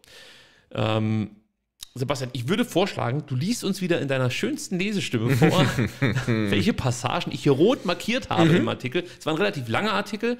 Äh, keine Sorge, das erste äh, Vorlesesegment ist dann auch verhältnismäßig lang. Danach wird es kürzer, aber ich finde es ganz wichtig, dass du dieses Statement komplett vorliest, ähm, damit die Hörer sozusagen auch alle Infos haben, ja, ähm, um dann selbst sich vielleicht ein Bild machen zu können, beziehungsweise eine Bewertung zu treffen der getätigten Aussage. Also schieß mal los. Also Rainer Adrian sagte in dem Interview, der Aufsichtsrat auf AG-Seite sowie das Präsidium und der Vereinsbeirat auf EV-Seite haben sich in den vergangenen Monaten ruhig und loyal verhalten. Wir haben die sportliche Führung jederzeit unterstützt und werden das auch jetzt tun. Die Rahmenbedingungen, die der VfB zur Verfügung stellen kann, sind im Ligavergleich nicht die schlechtesten. Der Etat für die Lizenzspieler liegt im ordentlichen Mittelfeld der Bundesliga. Wir haben zuletzt das Trainingslager in Marbella befürwortet. Es konnte auch kurzfristig noch ein Spieler verpflichtet werden. Und bereits nach den langfristigen Ausfällen von Silas Katompam-Wumpa und Sascha Kalajdzic konnte man im vergangenen Sommer im Sturm kurzfristig nachbessern. Diese Maßnahmen haben wir trotz der aufgrund der Pandemie finanziell schwierigen Situation alle mitgetragen. Wir müssen uns jetzt durchkämpfen. Und dazu kann und muss jeder seinen Teil beitragen. Also an und für sich eine absolut legitime Aussage wenn man es so zum ersten Mal liest, kann man auch sagen, ja, was sind da dabei? Ich finde, so ein paar Sätze sind gefallen, die nicht durch Zufall fallen. Also dazu muss man erstmal sagen, so ein Interview läuft ja nicht so ab, dass der mal was sagt und dann irgendwann erscheint es in der Zeitung, sondern man spricht, beziehungsweise vielleicht geht es auch per Mail, aber hier würde ich vermuten, es war ein Telefonat, einfach nur eine Vermutung. Anschließend äh, wird da was zusammengeschrieben und das muss dann Rainer Adrian nochmal abnicken. Das heißt, er war so zufrieden, wie das jetzt hier gedruckt wurde. Das wurde von ihm, ihm so abgesegnet, ähnlich wie das ja auch Sven Missentat abgesegnet hat Ende November, als er mit Carlos Urbina über seine persönliche Zukunft beim VfB Stuttgart gesprochen hat. Äh, auch da gab es wenig Zufälle in den Äußerungen. Auch hier sagen wir so, der Zeitpunkt ist nicht zufällig gewählt, dass Rainer Adrian jetzt dieses Interview gibt. Denn man muss dazu wissen, nochmal zurück, Ende November, Sven Missentat gibt das Interview kotzt da so ein bisschen ab über die Art und Weise, wie der Aufsichtsrat versucht, den Vorstandsvorsitzenden ähm, mhm. zu, zu casten, sage ich jetzt mal, und vielleicht auch einen Sportvorstand. Ähm, danach, das weiß ich, wurden sowohl Klaus Vogt wie auch Rainer Adrian, vielleicht auch noch andere, aber da weiß ich es halt, äh, vor der Stuttgarter Nachricht, von den Stuttgarter Nachrichten auch gefragt, ob sie sich nicht äußern wollen würden. Das wurde immer wieder verneint. Ja, also das haben sie auch nicht nur einmal gemacht, diese ja. Anfrage geschickt, sondern mehrfach. Jetzt möchte man unbedingt was sagen. In einer sportlich schweren Krise, die äh, absolut bedrohlich ist für den VfB Stuttgart, möchte man diese Statements setzen. Und wenn ich dann Sätze lese, wie die Rahmenbedingungen, die der VfB zur Verfügung stellen kann, sind im Liga-Vergleich nicht die schlechtesten das ist ein normaler Satz. Für mich schwingt er aber trotzdem auch so ein bisschen mit, ja, also sprich, das, was wir jetzt momentan sehen, entspricht nicht dem, was wir sozusagen investieren. Also sind auch nicht die zweitschlechtesten, muss man dazu sagen. Also äh, für mich schwingt da eine leichte Kritik mit, ja, dass man aktuell vielleicht nicht ganz so zufrieden ist mit dem Tabellenplatz, was auch nicht verwunderlich ist. Ja, ich wollte gerade sagen. Ja, ja, aber ich will das halt deswegen aufdröseln, weil es natürlich wichtig ist, weil jeder Satz irgendwie eine Bedeutung zu scheinen hat in, in, äh, in diesem Interview. Du kannst nachher sagen, wenn ich komplett einen nee, Blödsinn nee, erzähle. Gut. Es ist einfach, ich bin vielleicht auch paranoid, aber äh, wie gesagt, so. Dann der Etat für die Lizenzspieler liegt im ordentlichen Mittelfeld. Ist auch wieder so ein Statement, okay, also wir geben so viel Geld aus, dass wir eigentlich weiter oben positioniert sein müssten. Ja, weiter geht's mit. Wir haben, das muss man jetzt als Paket sehen, wir haben zuletzt das Trainingslager in Marbella befürwortet. Es konnten auch kurzfristig konnte auch kurzfristig ein Spieler verpflichtet werden und man konnte im vergangenen Sommer im Sturm kurzfristig nachbessern. Wahrheit Fage ist damit gemeint, ähm, der ja dann kurz vor Transferschluss verpflichtet wurde. Für mich klingt es halt so, wir haben alles getan, um euch, also euch, Lizenzspielerabteilung, die besten Möglichkeiten oder das Beste zu ermöglichen, um mit dem VfB eine erfolgreiche Saison zu spielen. An uns lag es nicht. Also wir haben zum Beispiel nicht gesagt im Sommer, ähm, nee, den VG holen wir nicht. Sondern wir haben gesagt, okay, wir erhöhen sozusagen ähm, das Budget, wir, wir nicken diesen Transfer ab, weil ich, auch hier ist es eine Vermutung, aber ich vermute einfach, dass es halt ein gewisses Budget gibt, in dem muss sich Sven Missentat äh, aufhalten. Ich denke auch, dass ab äh, bestimmten Verpflichtungen grundsätzlich nochmal der Aufsichtsrat irgendwie äh, das Ganze mit abnicken muss. Man muss auch dazu sagen, nicht Sven Missentat leistet die Unterschriften, sondern das macht ja in der Regel dann auch der Sportvorstand, also Thomas Hitzesberger. Ähm, also das heißt, da gucken schon noch ein paar Leute drüber, aber trotzdem ich vermute einfach, dass man A, über den Fagier-Transfer diskutieren musste, über den Thomas-Transfer diskutieren musste und mit Sicherheit auch jetzt das Trainingslager, das ja auch einiges an Geld äh, gekostet hat, dass man darüber auch nochmal sprechen musste. Und für alles hat man sozusagen das Go gegeben, ja, und trotzdem steht der VfB halt auf Platz 17, noch, muss man sagen. Und da habe ich halt rausgelesen, okay, der Aufsichtsrat möchte mir hier gerade sagen, beziehungsweise der äh, Vizepräsident, mit diesen Möglichkeiten, die wir euch zur Verfügung gestellt haben, muss mehr drin sein als Platz 17. Bin ich da jetzt zu Lese ich da zu viel zwischen den Zeilen? Du kannst es offen und ehrlich sagen. Nein, also ich finde, ich finde, das ist vielleicht gemeint, aber die Aussage kann man ja auch treffen. Ich glaube, die wird ja auch jeder beim VfB sagen, dass es nicht das Ziel sein kann, dass man ähm, hinter Mannschaften wie Arminia Bielefeld und VfL Bochum in der Tabelle liegt. Also, aber findest du den Zeitpunkt nicht irgendwie ein bisschen komisch? Der, der Zeitpunkt ist äh, vielleicht seltsam, aber ich finde, was man auch rauslesen kann, ist, ähm, dass äh, Rainer Adrian in dem Fall als Sprecher des Aufsichtsrats, würde ich ihn jetzt hier mal sehen, weil zum Beispiel der Vereinsbeirat hat ja jetzt mit dem Lizenzspielerkader überhaupt gar nichts zu tun. Also ähm, er als äh, Sprecher in dem Fall des Aufsichtsrats sagt ja, ähm, wir ziehen quasi mit der sportlichen Leitung ähm, am selben Strang und wenn die was wollen, dann machen wir das möglich. Also so kann man das ja auch interpretieren. Ja. Nicht, dass sich der Aufsichtsrat hinterher sagen lassen muss, äh, wir sind abgestiegen, äh, eigentlich hätten wir ja ein Sommertrainingslager machen wollen, also sagt dann gar nicht ein Missintat, sondern sagen die Fans vielleicht, warum habt ihr das nicht möglich gemacht? Und die sagen, na, wir sind halt, wir ziehen am selben Strang und wenn die sportliche Leitung das für richtig hält, dann machen wir es möglich. Und deswegen empfinde ich den Zeitpunkt tatsächlich etwas seltsam. Hm, inhaltlich ähm, tue ich mich da jetzt schwer, irgendwie was äh, nee, Brisantes ist, rauszulesen. Das ist für mich jetzt auch noch nicht ein Angriff, sondern das ist eher so, dass äh, praktisch der Aufsichtsrat sagt, Leute, wir haben delivered sozusagen. Ja. ja. Jetzt guckt, dass er den Karren aus dem Dreck zieht. So. Weil wir haben mehr oder weniger, wir haben angeschoben. Jetzt müsst ihr selber Gas geben. Äh, lies mal das nächste Statement vor. Da sagt er, Kontinuität ist auch unser Ziel. Nach den aus verschiedenen Gründen notwendig gewordenen Wechseln auf Vorstandsebene hoffen wir dies jetzt mit der Vervollständigung der AG-Führung durch Alexander Werle für die Zukunft zu erreichen. Ebenso ist es immer der Wunsch, die Position des Trainers und des Sportdirektors langfristig zu besetzen. Auch hier wieder, ähm, ich mit meinem kritischen Blick, wahrscheinlich bin ich echt zu kritisch, ich denke mir halt so, okay, warum trennt er denn jetzt hier zwischen Kontinuität im Vorstand und ähm, zwischen Kontinuität beim Sportdirektor bzw. beim Trainer?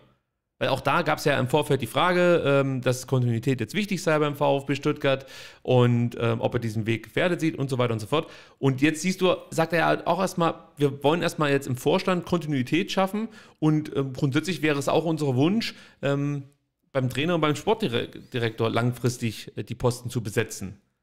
Aber für mich ist das eine Trennung und es werden jetzt hier auch nicht konkret ähm, Materazzo und, und Missentat erwähnt, sondern ebenso ist es immer der Wunsch, die Position des Trainers und des Sportdirektors langfristig zu besetzen. Bin ich wieder zu. Ja. Meinst du wirklich? Ja, ich meine, als Aufsichtsrat darfst du nicht in Personen denken. Warum willst du dann einen anderen Sportvorstand holen? Also, weil das, ist, das kommt ja auch noch mit dazu. Wir, also, eins ist ja klar: Der VfB Stuttgart wollte ja offensichtlich nicht Sven Missentat als Sportvorstand. Ich glaube, man hätte es hinbekommen. Ja, vermutlich. Oder glaubst du nicht? Ja, könnte man fast meinen, ja. Also, es gab ja schon auch Äußerungen von, von Sven Missentat, der gesagt hat, ähm, wie hat es gesagt bei, bei Sky 90, dass er seinen Vertrag verlängern würde zu denselben Konditionen. Und seine Bedingung war so ein Stück weit, äh, dass einer aus seinem Team Sportvorstand wird. Da kann ich verstehen, wenn man sagt, also Moment mal, also ja. Rüd trauen wir nicht zu.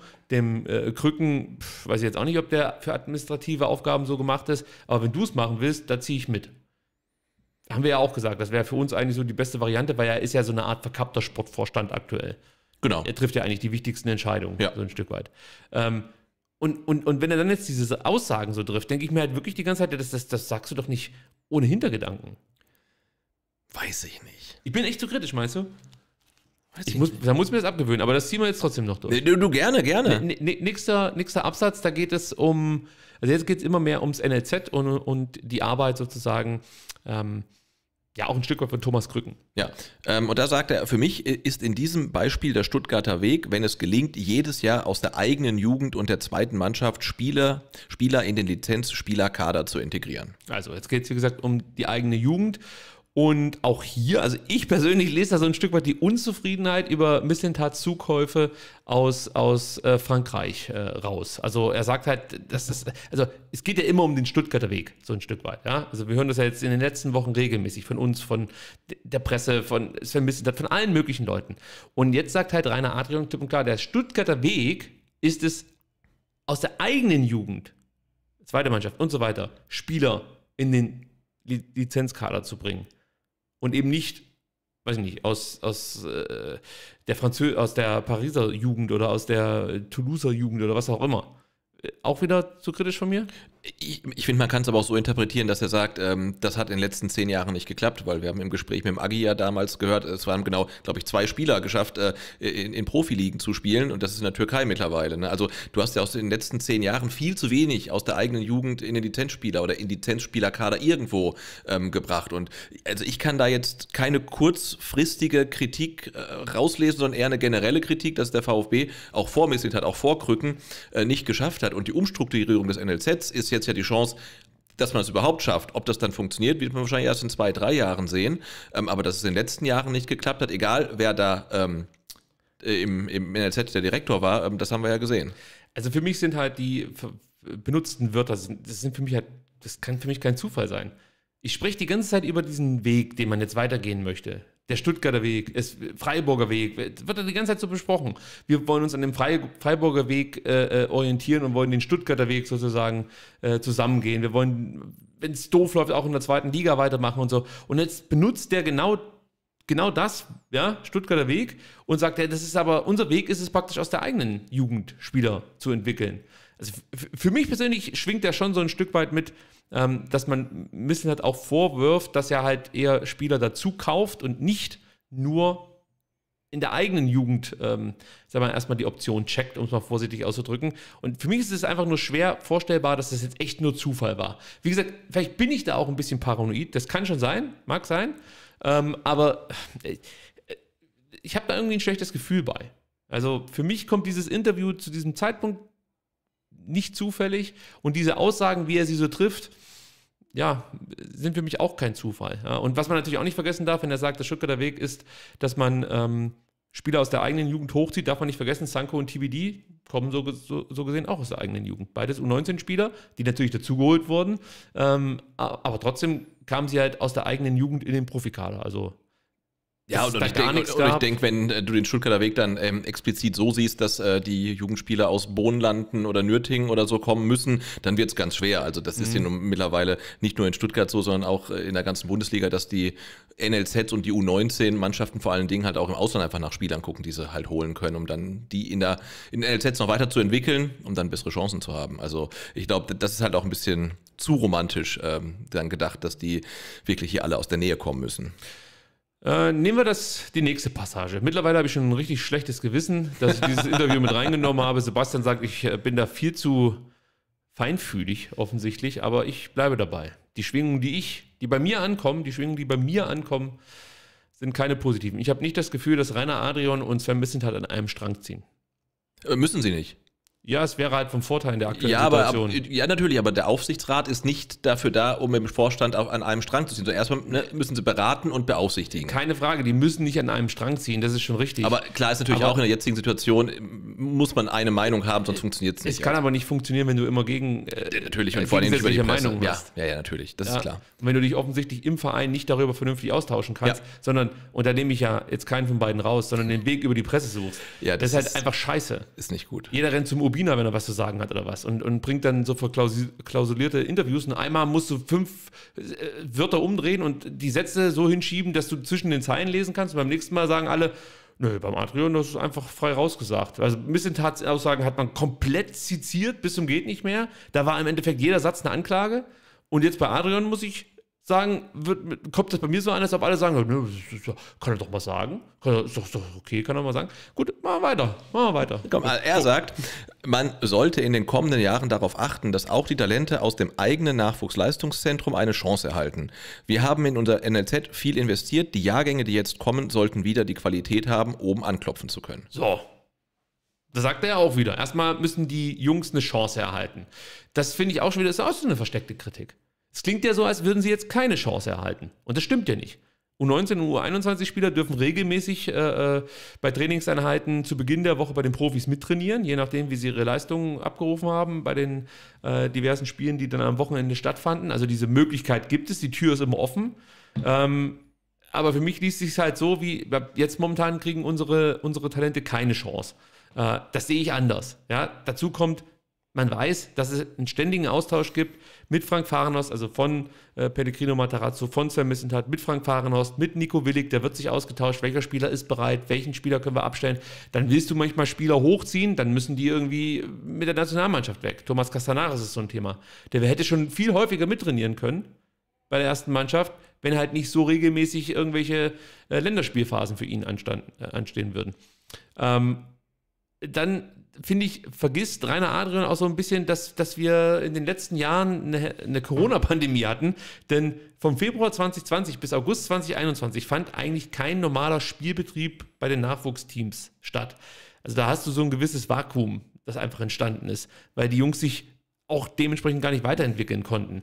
Und das ist natürlich besonders schwer, jetzt, oder finde ich kritisch, um es mal, oder wie soll ich sagen, ich möchte ja auch nicht immer zu negativ sein, aber ich finde, ähm, du musst eigentlich diese anderthalb Jahre so ein Stück weit rausrechnen, weil da konnten sich die Spieler nicht so entwickeln, wie das eigentlich möglich gewesen wäre, hätten wir keine Pandemie gehabt.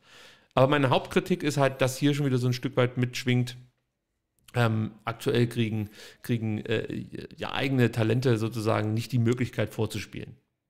Bin ich auch wieder zu kritisch. Du, musst es mir sagen. Äh äh, du siehst es wahrscheinlich so, du würdest, äh, mal gucken, ob ich recht habe, du würdest jetzt wahrscheinlich sagen, ja, was er halt meint, in den letzten Jahren hatten die jungen Talente, hatten wir nicht so viele junge Talente, die äh, oben mitspielen konnten und das muss jetzt die Aufgabe sein, dass das wieder mehr werden. So kann man das auch interpretieren. Also das Einzige, was mich an dem, an dem Zitat dann wirklich stört, ist das, äh, ist das äh, Wörtchen auch. Ne? Also, weil wenn man sagen würde, man sollte in den kommenden Jahren darauf achten, dass äh, die Talente aus den eigenen Nachwuchsleistungszentren eine Chance erhalten, ähm, oben mitzuspielen, das ist ja ein Aus, das wird wahrscheinlich jeder äh, in den 18 Bundesliga-Vereinen sagen. Das ist ja eine Aussage, das ist quasi keine Aussage, ne? weil jeder sagt, ja, die eigene Jugend, die muss halt eine Chance kriegen. Das ist für mich völlig okay. Bei auch kann man sagen, das ist meint vielleicht, äh, dass es aktuell nicht so ist, aber ich tue mich echt schwer damit, ähm, in einem ähm, Interview, ähm, was Rainer Adrian und Carlos Urbina gibt, wirklich jedes Wort umzudrehen. Ich möchte nicht jedes Wort umdrehen. Ja. Für, mich ist es, für mich ist das Gesamte am Ende, dass fast in jeder Aussage äh, zumindest mal äh, Kritikpotenzial steckt, um es mal so auszudrücken. Und ich kann mir einfach nicht vorstellen, dass das Zufall ist. Du gibst da nicht ein Interview, also wenn, wenn, wenn, wenn ich das jetzt lese, wenn ich da drüber gehe, und lese die Antworten. Da, da, kann man ja schon, also wenn ich das Gefühl hätte, ja, das kann man so und so interpretieren, würde ich sagen, ah, dann schreibt man es ein bisschen anders. Und wenn es nur das auch ist, dass ich weglasse. Ja, natürlich, aber dann äh, kommen halt keine Podcasts und äh, nehmen das Interview auseinander und dann kriegt es halt noch mehr Reichweite. Und deswegen lasse ich das Wort auch drin und ich schreibe es halt auch genau so und habe da vielleicht einen Interviewpartner, der okay. drüber liest und das halt gar nicht merkt. Okay. Dann zwei Aussagen haben, haben wir noch, Sebastian. Mal die nächste. Ja, gerne. Ähm, wir haben durch unterschiedliche Gründe trotzdem eine Situation, in der ich mir auch Sorgen um die zweite Mannschaft mache. Sie ist für den Übergang zu den Profis meiner Meinung nach ganz wichtig. Den besten Torschützen Aluk Woll zum SV Sandhausen zu verleihen, mag für die individuelle Entwicklung des Spielers gut sein, wenn er dort regelmäßig zum Einsatz kommt. Gleiches gilt für Matej Maglica, der nach St. Gallen ausgeliehen wurde. Für unsere U21 ist es ein Risiko. Jetzt müssen andere in die Bresche springen. So, und hier ja, gehe ich komplett. Natürlich ganz klare ja. Kritik und auch ganz klar berechtigt, weil. Richtig. Warum berechtigt? Weil wir es genauso hier gesagt haben. Ja, aber das Ding ist doch echt, jetzt sagen wir, ja, hier ist es ganz klare Kritik. Ja. Ich finde, wenn ich das alles zusammensetze, also macht euch die Mühe und lest selber das komplette Interview, finde ich, dass da überall Kritik mitschwingt. Hier ist es natürlich komplett klar ausgeprägt, ja. Ihr sagt das klipp und klar und er hat absolut recht. Der Alu Quoll ist da in Sandhausen und der nicht mal im Kader. Ja. Also das macht er, das ist totaler Quatsch, ja. Und ob man jetzt Matej Maklica nach St. Gallen ausleihen muss, ich weiß auch nicht, ob das notwendig ist in einer Phase, wo du kaum Innenverteidiger hast. Ja. Keine Frage, hat er absolut recht. So, letztes Statement. Für mich muss es das konzeptionelle Ziel sein, dass unsere eigenen U19-Spielern auch in der Regionalliga dauerhaft zum Einsatz kommen und sich dort weiterentwickeln.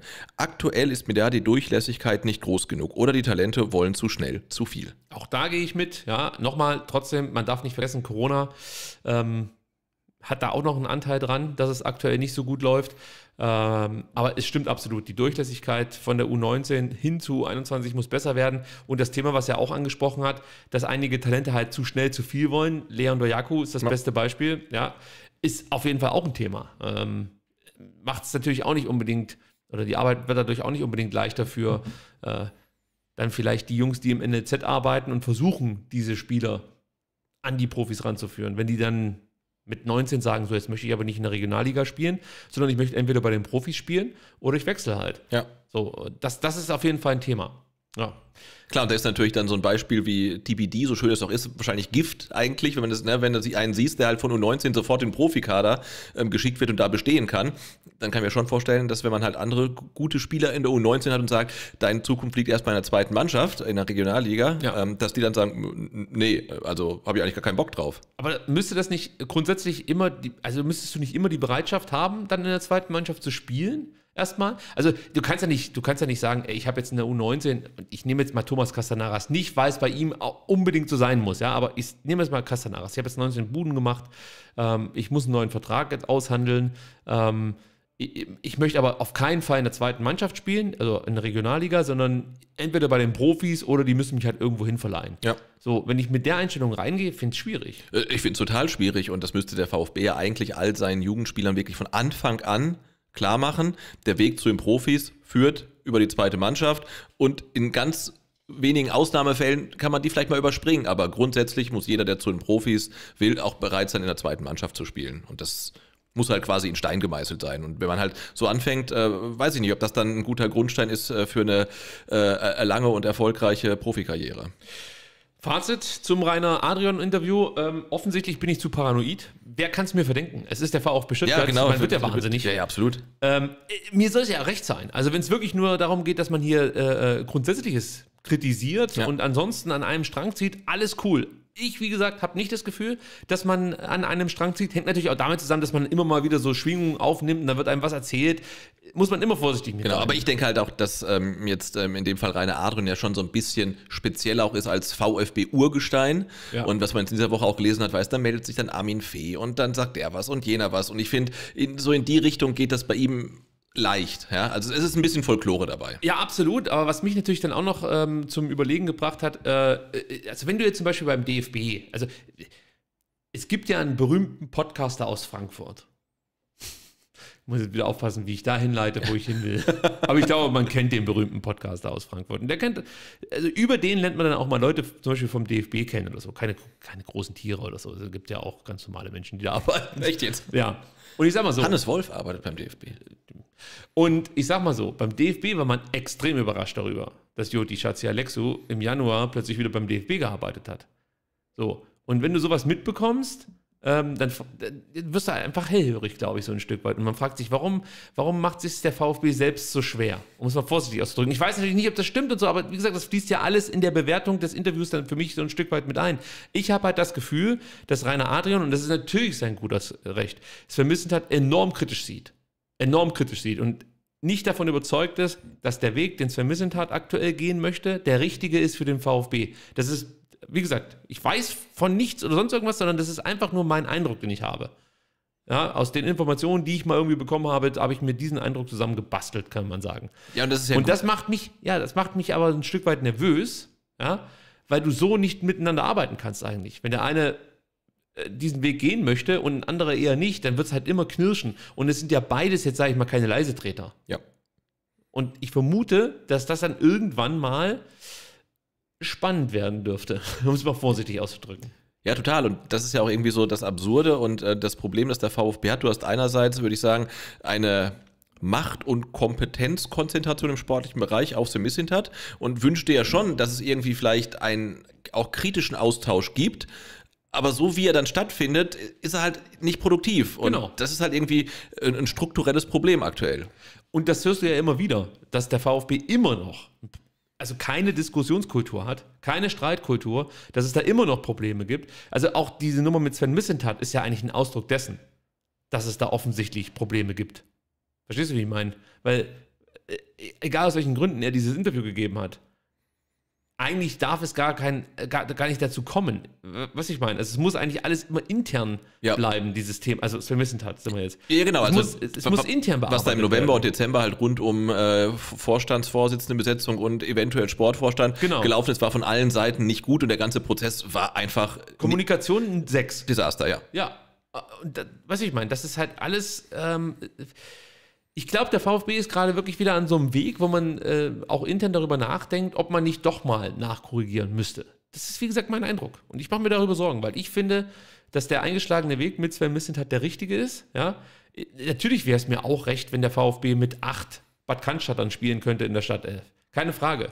Und ja, jetzt reden alle über Castanaras, der 19 Buden gemacht hat, aber ich glaube doch nicht im Ernst, dass, dass die diesen Spieler bewusst boykottieren, um ja keinen Nicht-Sven-Missentat-Spieler im Kader zu haben.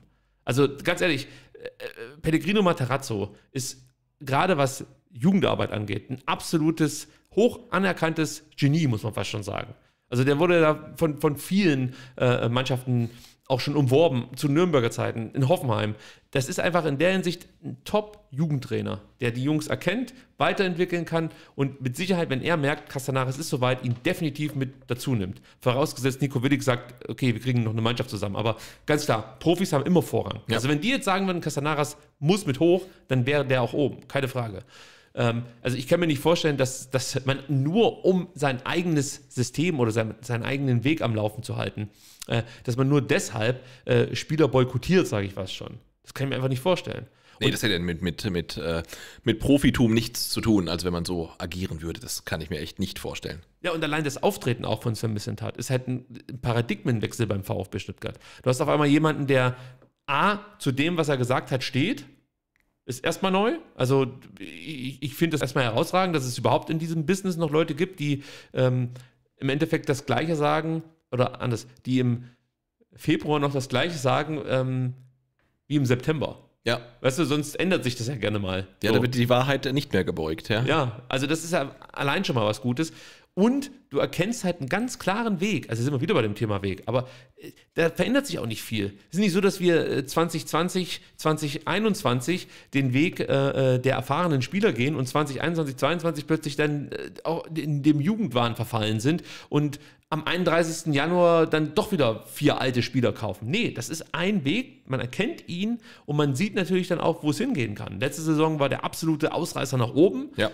Das Jahr davor, würde ich sagen, war so mittelmäßig. In dem Jahr geht es komplett nach unten. So, das muss aber auch mal ein Stück weit drin sein, diese Schwankungen. Wir haben es letzte Woche schon gesagt, der VfB ist halt einfach ein Top-20-Team und aktuell performen sie überhaupt nicht. Ich wollte sagen, performen sie eher unter, aber performen sie überhaupt nicht. Keine Low-Performance, das ist eine Non-Performance. Non-Performance, ja. Aber gegen, gegen Bochum. Ja, gegen Bochum ist es soweit. Gut, äh, sollte ich jetzt hier irgendjemanden ähm, vor den Latz gestoßen haben, es tut mir wirklich leid, aber ich, ich bin offensichtlich ein kritisches Umfeld in dem Fall. Mhm. Dann, ja? Kann ja auch mal gut sein.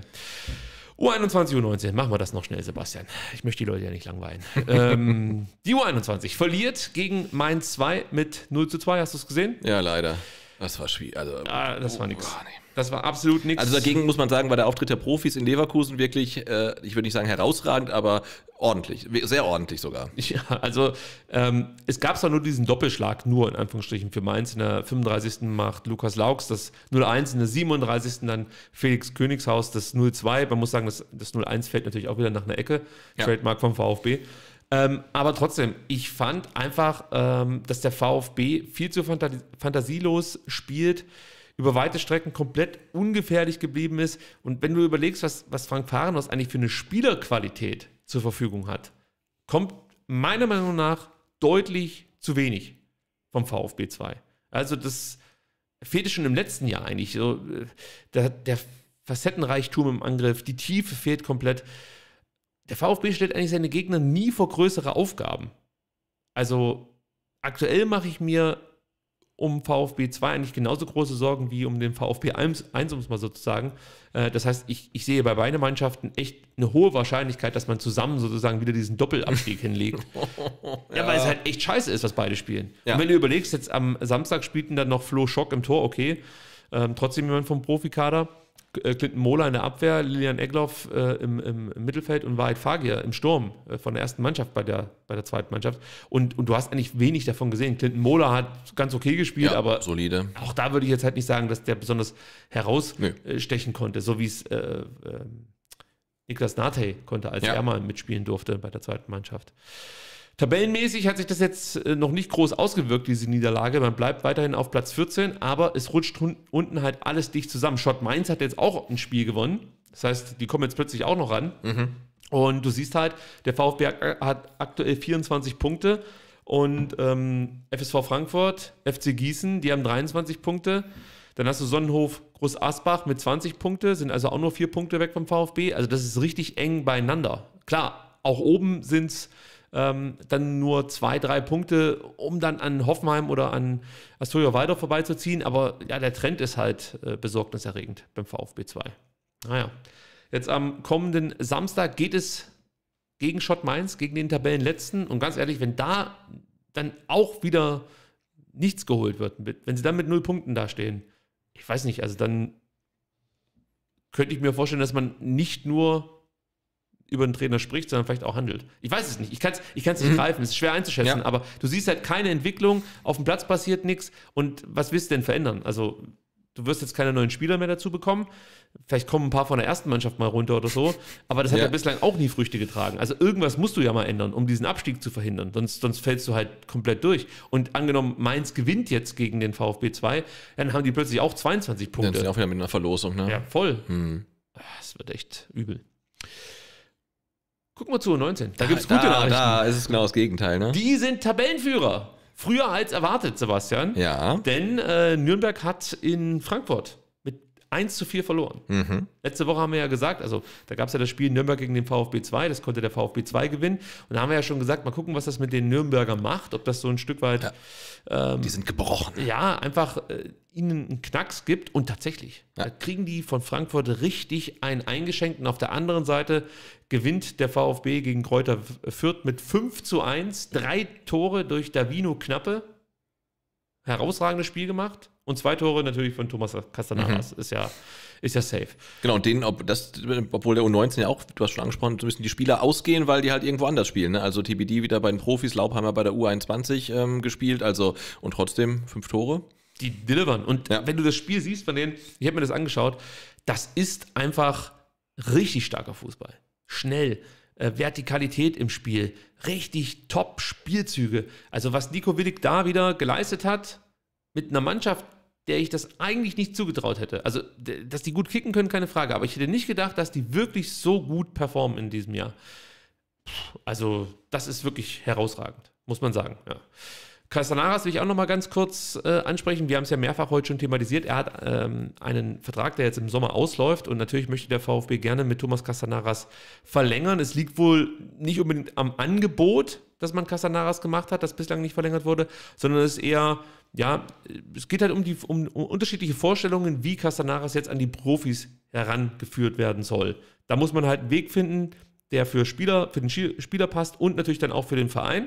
Da ist man gerade dran. Der Kicker hat jetzt berichtet, dass Köln und Hertha ebenfalls Interesse hätten an Castanaras. Ist nicht verwunderlich. Ja. Der schießt die komplette Süd-Südwest kaputt. Natürlich kommen da andere Vereine. Und ich kann euch garantieren, dass es nicht nur Köln und Hertha sind, die da Interesse haben. Da gibt es ganz, ganz andere Kandidaten die ähm, mit Sicherheit auch mal vorführen, ob es nicht eine Möglichkeit gäbe. Genau, weil wenn es jetzt noch keine Vertragsverlängerung gab, dann könnte man ja auch davon ausgehen, okay, so ganz smooth läuft es nicht und da gibt es vielleicht eine Möglichkeit, äh, irgendwie den Fuß in die Tür zu stellen. Ja, ich drücke dem VfB die Daumen, dass man es irgendwie hinbekommt, mit Castanaras da einen Deal auszuhandeln. Ähm, ich könnte mir vorstellen, dass es auf, auf, tatsächlich auf irgendwie eine Laie rausläuft. Also mal gucken. Also man verlängert ja. mit ihm und dann gibt es irgendwie eine Laie in die zweite oder dritte Liga. Könnte ich mir vorstellen. Vielleicht traut man es ihm auch zu, dass er dann direkt schon zu den Profis geht. Könnte natürlich dann auch mit der Liga zusammenhängen. Also ohne da jetzt äh, irgendwas vorweggreifen zu wollen. Ja, der VfB 2 trifft am Sonntag ebenfalls auf eine Mainzer Mannschaft, aber nicht auf Schott, sondern auf den FSV Mainz. Das ist dann auch wieder ein wichtiges Spiel für den VfB Stuttgart, denn ähm, man kann sich dann natürlich noch mal ein bisschen absetzen von einem weiteren Konkurrenten, möchte ich mal so sagen. Denn der erste FC Mainz 05 ist auch oben mit dabei, 28 Punkte, natürlich schon vier Punkte Rückstand auf den VfB 2. Und ein Spiel mehr. Und ein Spiel mehr, aber klar ist auch, wenn sie dieses Spiel gewinnen, können sie sich wieder Hoffnung machen. Ja, ist so. Jetzt wollte ich eigentlich durchziehen, Sebastian. Wir haben, glaube ich, noch ein Thema, das wir anbringen. Das schaffe ich, glaube ich, noch. Aber ich muss dr so dringend aufs Klo. Eigentlich muss ich dieses Thema würdig beenden. Ich würde dich jetzt darum bitten, äh, die Sendung würdig beenden. Ich würde dich jetzt darum bitten, dass du kurz vielleicht den Werbeblock hier übernimmst und ich gehe ganz kurz aufs Klo. Ja, ich bin total überrascht. Ja, das war das Sturzbier. Ach so, das Sturzbier. dass du wieder kurz vor der Sendung äh, noch, noch äh, runtergeleert hast, ähm, damit du nach der Aufnahme dann äh, keine Polizeikontrollen äh, fürchten musst. Äh, ja, der Werbeblock, den übernehme ich wieder gerne. Ähm, und zwar erstmal, falls ihr es noch nicht gemacht habt, auf jeden Fall YouTube-Abo dalassen. Äh, 4950 hatten wir, bevor wir losgelegt haben. Und ich habe mal geschaut, normalerweise haben wir pro Sendung immer so plus 10, plus 20 Abos. Also es wird vermutlich nicht für die 5000 reichen, es sei denn, ihr drückt jetzt wirklich alle und doppelt und sagt euren Bekannten, Brüdern, Schwestern, Eltern, Kindern, sie sollen auch abonnieren. Und wenn ihr das dann gemacht habt, dann könnt ihr natürlich noch ähm, auf Instagram vorbeischauen und uns da folgen. Ähm, Ricky macht, glaube ich, immer vor der Sendung äh, noch ein Instagram, eine Instagram Story oder macht das sogar live. Ich weiß es nicht, aber da ähm, kann man einen kleinen Blick hinter die Kulissen einer Aufnahme machen. Und wir werden es auf jeden Fall nochmal hier auch machen, dass wir euch mal zeigen, ähm, wie das hier so technisch und so weiter alles aussieht, weil das ja auf YouTube, glaube ich, ganz beliebt ist, so eine Roomtour mit der Technik. Aber das werden wir machen, wenn mal ein spielfreies Wochenende ist. Ich glaube, Ende März ist ja mal wieder Länderspielpause. Da könnten wir das vielleicht machen. Dann ganz wichtig, ähm, Twitter, auf jeden Fall ähm, Twitter äh, uns abonnieren. Ähm, VfB STR, at VfB ähm, auf Twitter. Und dann könnt ihr noch, wenn ihr das auch gemacht habt, noch auf Facebook vorbeigucken und da auch noch ein Like da lassen, wobei da wirklich nicht viel passiert. Und ich bin froh, dass Ricky jetzt auf Toilette ist, weil der wollte nämlich nicht nur das letzte Thema ansprechen, was wir jetzt noch haben und gleich machen, würdig und in aller Ruhe, dauert aber nicht lange, sondern er hat noch ein Thema auf der Liste gehabt und da ging es um den Stadion Aus- und Umbau und die gestiegenen Kosten. Und ich muss gestehen, ich habe da überhaupt keine Lust drauf gehabt, weil das so dröge ist ähm, und ich glaube auch niemanden wirklich interessiert. Ähm, da warten wir mal ab, ähm, wie sich das noch alles so ergeben wird bis zur EM äh, 2024 und dann äh, gucken wir mal, was der VfB da zahlen muss. Aber allein schon hier im Sendungsmanuskript stehen so viele Zahlen und so viele äh, Klauseln und Prozente und dann gibt es da die Stadion KG und die ist eine Tochter von der Stadt. Das ist super langweilig und jetzt kommt er wieder, jetzt erzähle ich nichts mehr davon und dann machen wir noch in Ruhe das letzte Thema.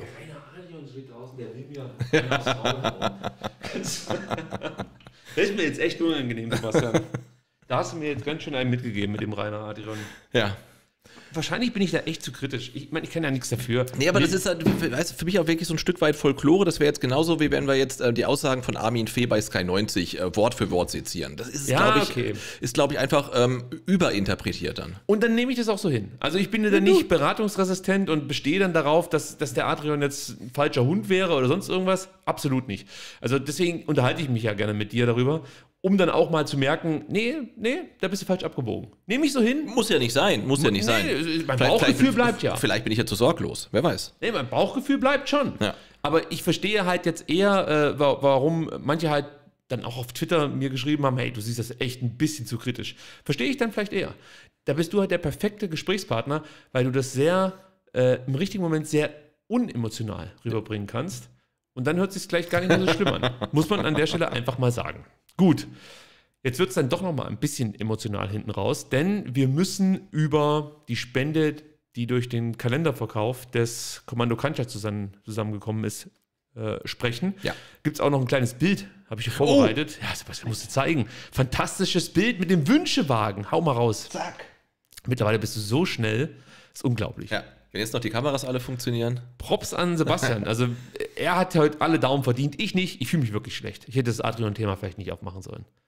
Ja, aber komm mal, da- da- da- ich glaube, ich beende den Podcast. Zurück zum Wünschewagen. also, ähm, ihr habt es mitbekommen, es gibt ja immer wieder die Kalender, die verkauft werden vom Kommando Cannstatt. Normalerweise äh, im Rahmen der diversen Heimspiele kurz vor Weihnachten. Ging natürlich jetzt nicht durch Corona-Pandemie und äh, es durften keine Zuschauer ins Stadion, deswegen konnte man das Ding sich online shoppen. Ich glaube, es gab auch ein paar Heimspiele, da konnte man zuschlagen, aber Ja. es waren nicht allzu viele Möglichkeiten da. Und ich glaube beim Osiander, ne? Gab's. Osiander, richtig. Und ähm, das war jetzt schon der 17. Fankalender und insgesamt kamen 24.000 Euro durch den Verkauf des Kalenders zusammen. Genau, also nicht der 17, sondern nur des 2022, das muss man dazu sagen. Genau, Ja. genau, das muss man dazu sagen. Und die komplette Summe spendet das Kommando Cannstatt an die ASB-Region Ludwigsburg und ihren Wünschewagen. Und der Wünschewagen begleitet Menschen am Ende ihres Lebens dabei, sich einen letzten Wunsch zu erfüllen. Also großartige Sache. Ähm, ja, und, und ähm, dieses Wünschewagen-Projekt lebt halt ausschließlich von Spenden, Eigenmitteln und dem Engagement hunderter Ehrenamtlicher. Also ist halt wieder so ein Ding, das fällt meistens hinten über. Ja. Wird oft vergessen, nicht so vom Kommando Kanschat, die ballern da halt einfach mal eine stattliche Summe raus. Und wenn man sich überlegt, also insgesamt wurden jetzt schon knapp 204.000 Euro vom Kommando Kanschat an kari- karitative Einrichtungen im Raum Stuttgart gespendet. Das ist brutal. Es ist Wahnsinn. Also finde ich echt großartig. Ich finde, es wird auch viel zu selten thematisiert, medial. Stell dir mal vor, irgendeiner von diesen Rowdies hätte ein Bengalo angezündet. Ja. Hättest du es aber überall gesehen. Auf jeden Fall. Ja, aber sowas. Und dann immer wieder gesagt, ja, dann die Strafe, die es dann vielleicht gibt, die muss man dir aber selber zahlen und das kann nicht der VfB machen und so. Nee, also äh, wirklich eine großartige Sache. Der Danny Galm hat äh, darüber berichtet. Die Stuttgarter Nachrichten haben, glaube ich, nur das Twitter-Bild gepostet, wo ich mir auch gedacht habe, Leute, ey, ihr, ihr schreibt darüber, dass Thiago Tomasch im fucking Zoo war, aber ihr kriegt keinen Artikel hin über den Wünschewagen, über so eine Aktion? Ja. Really?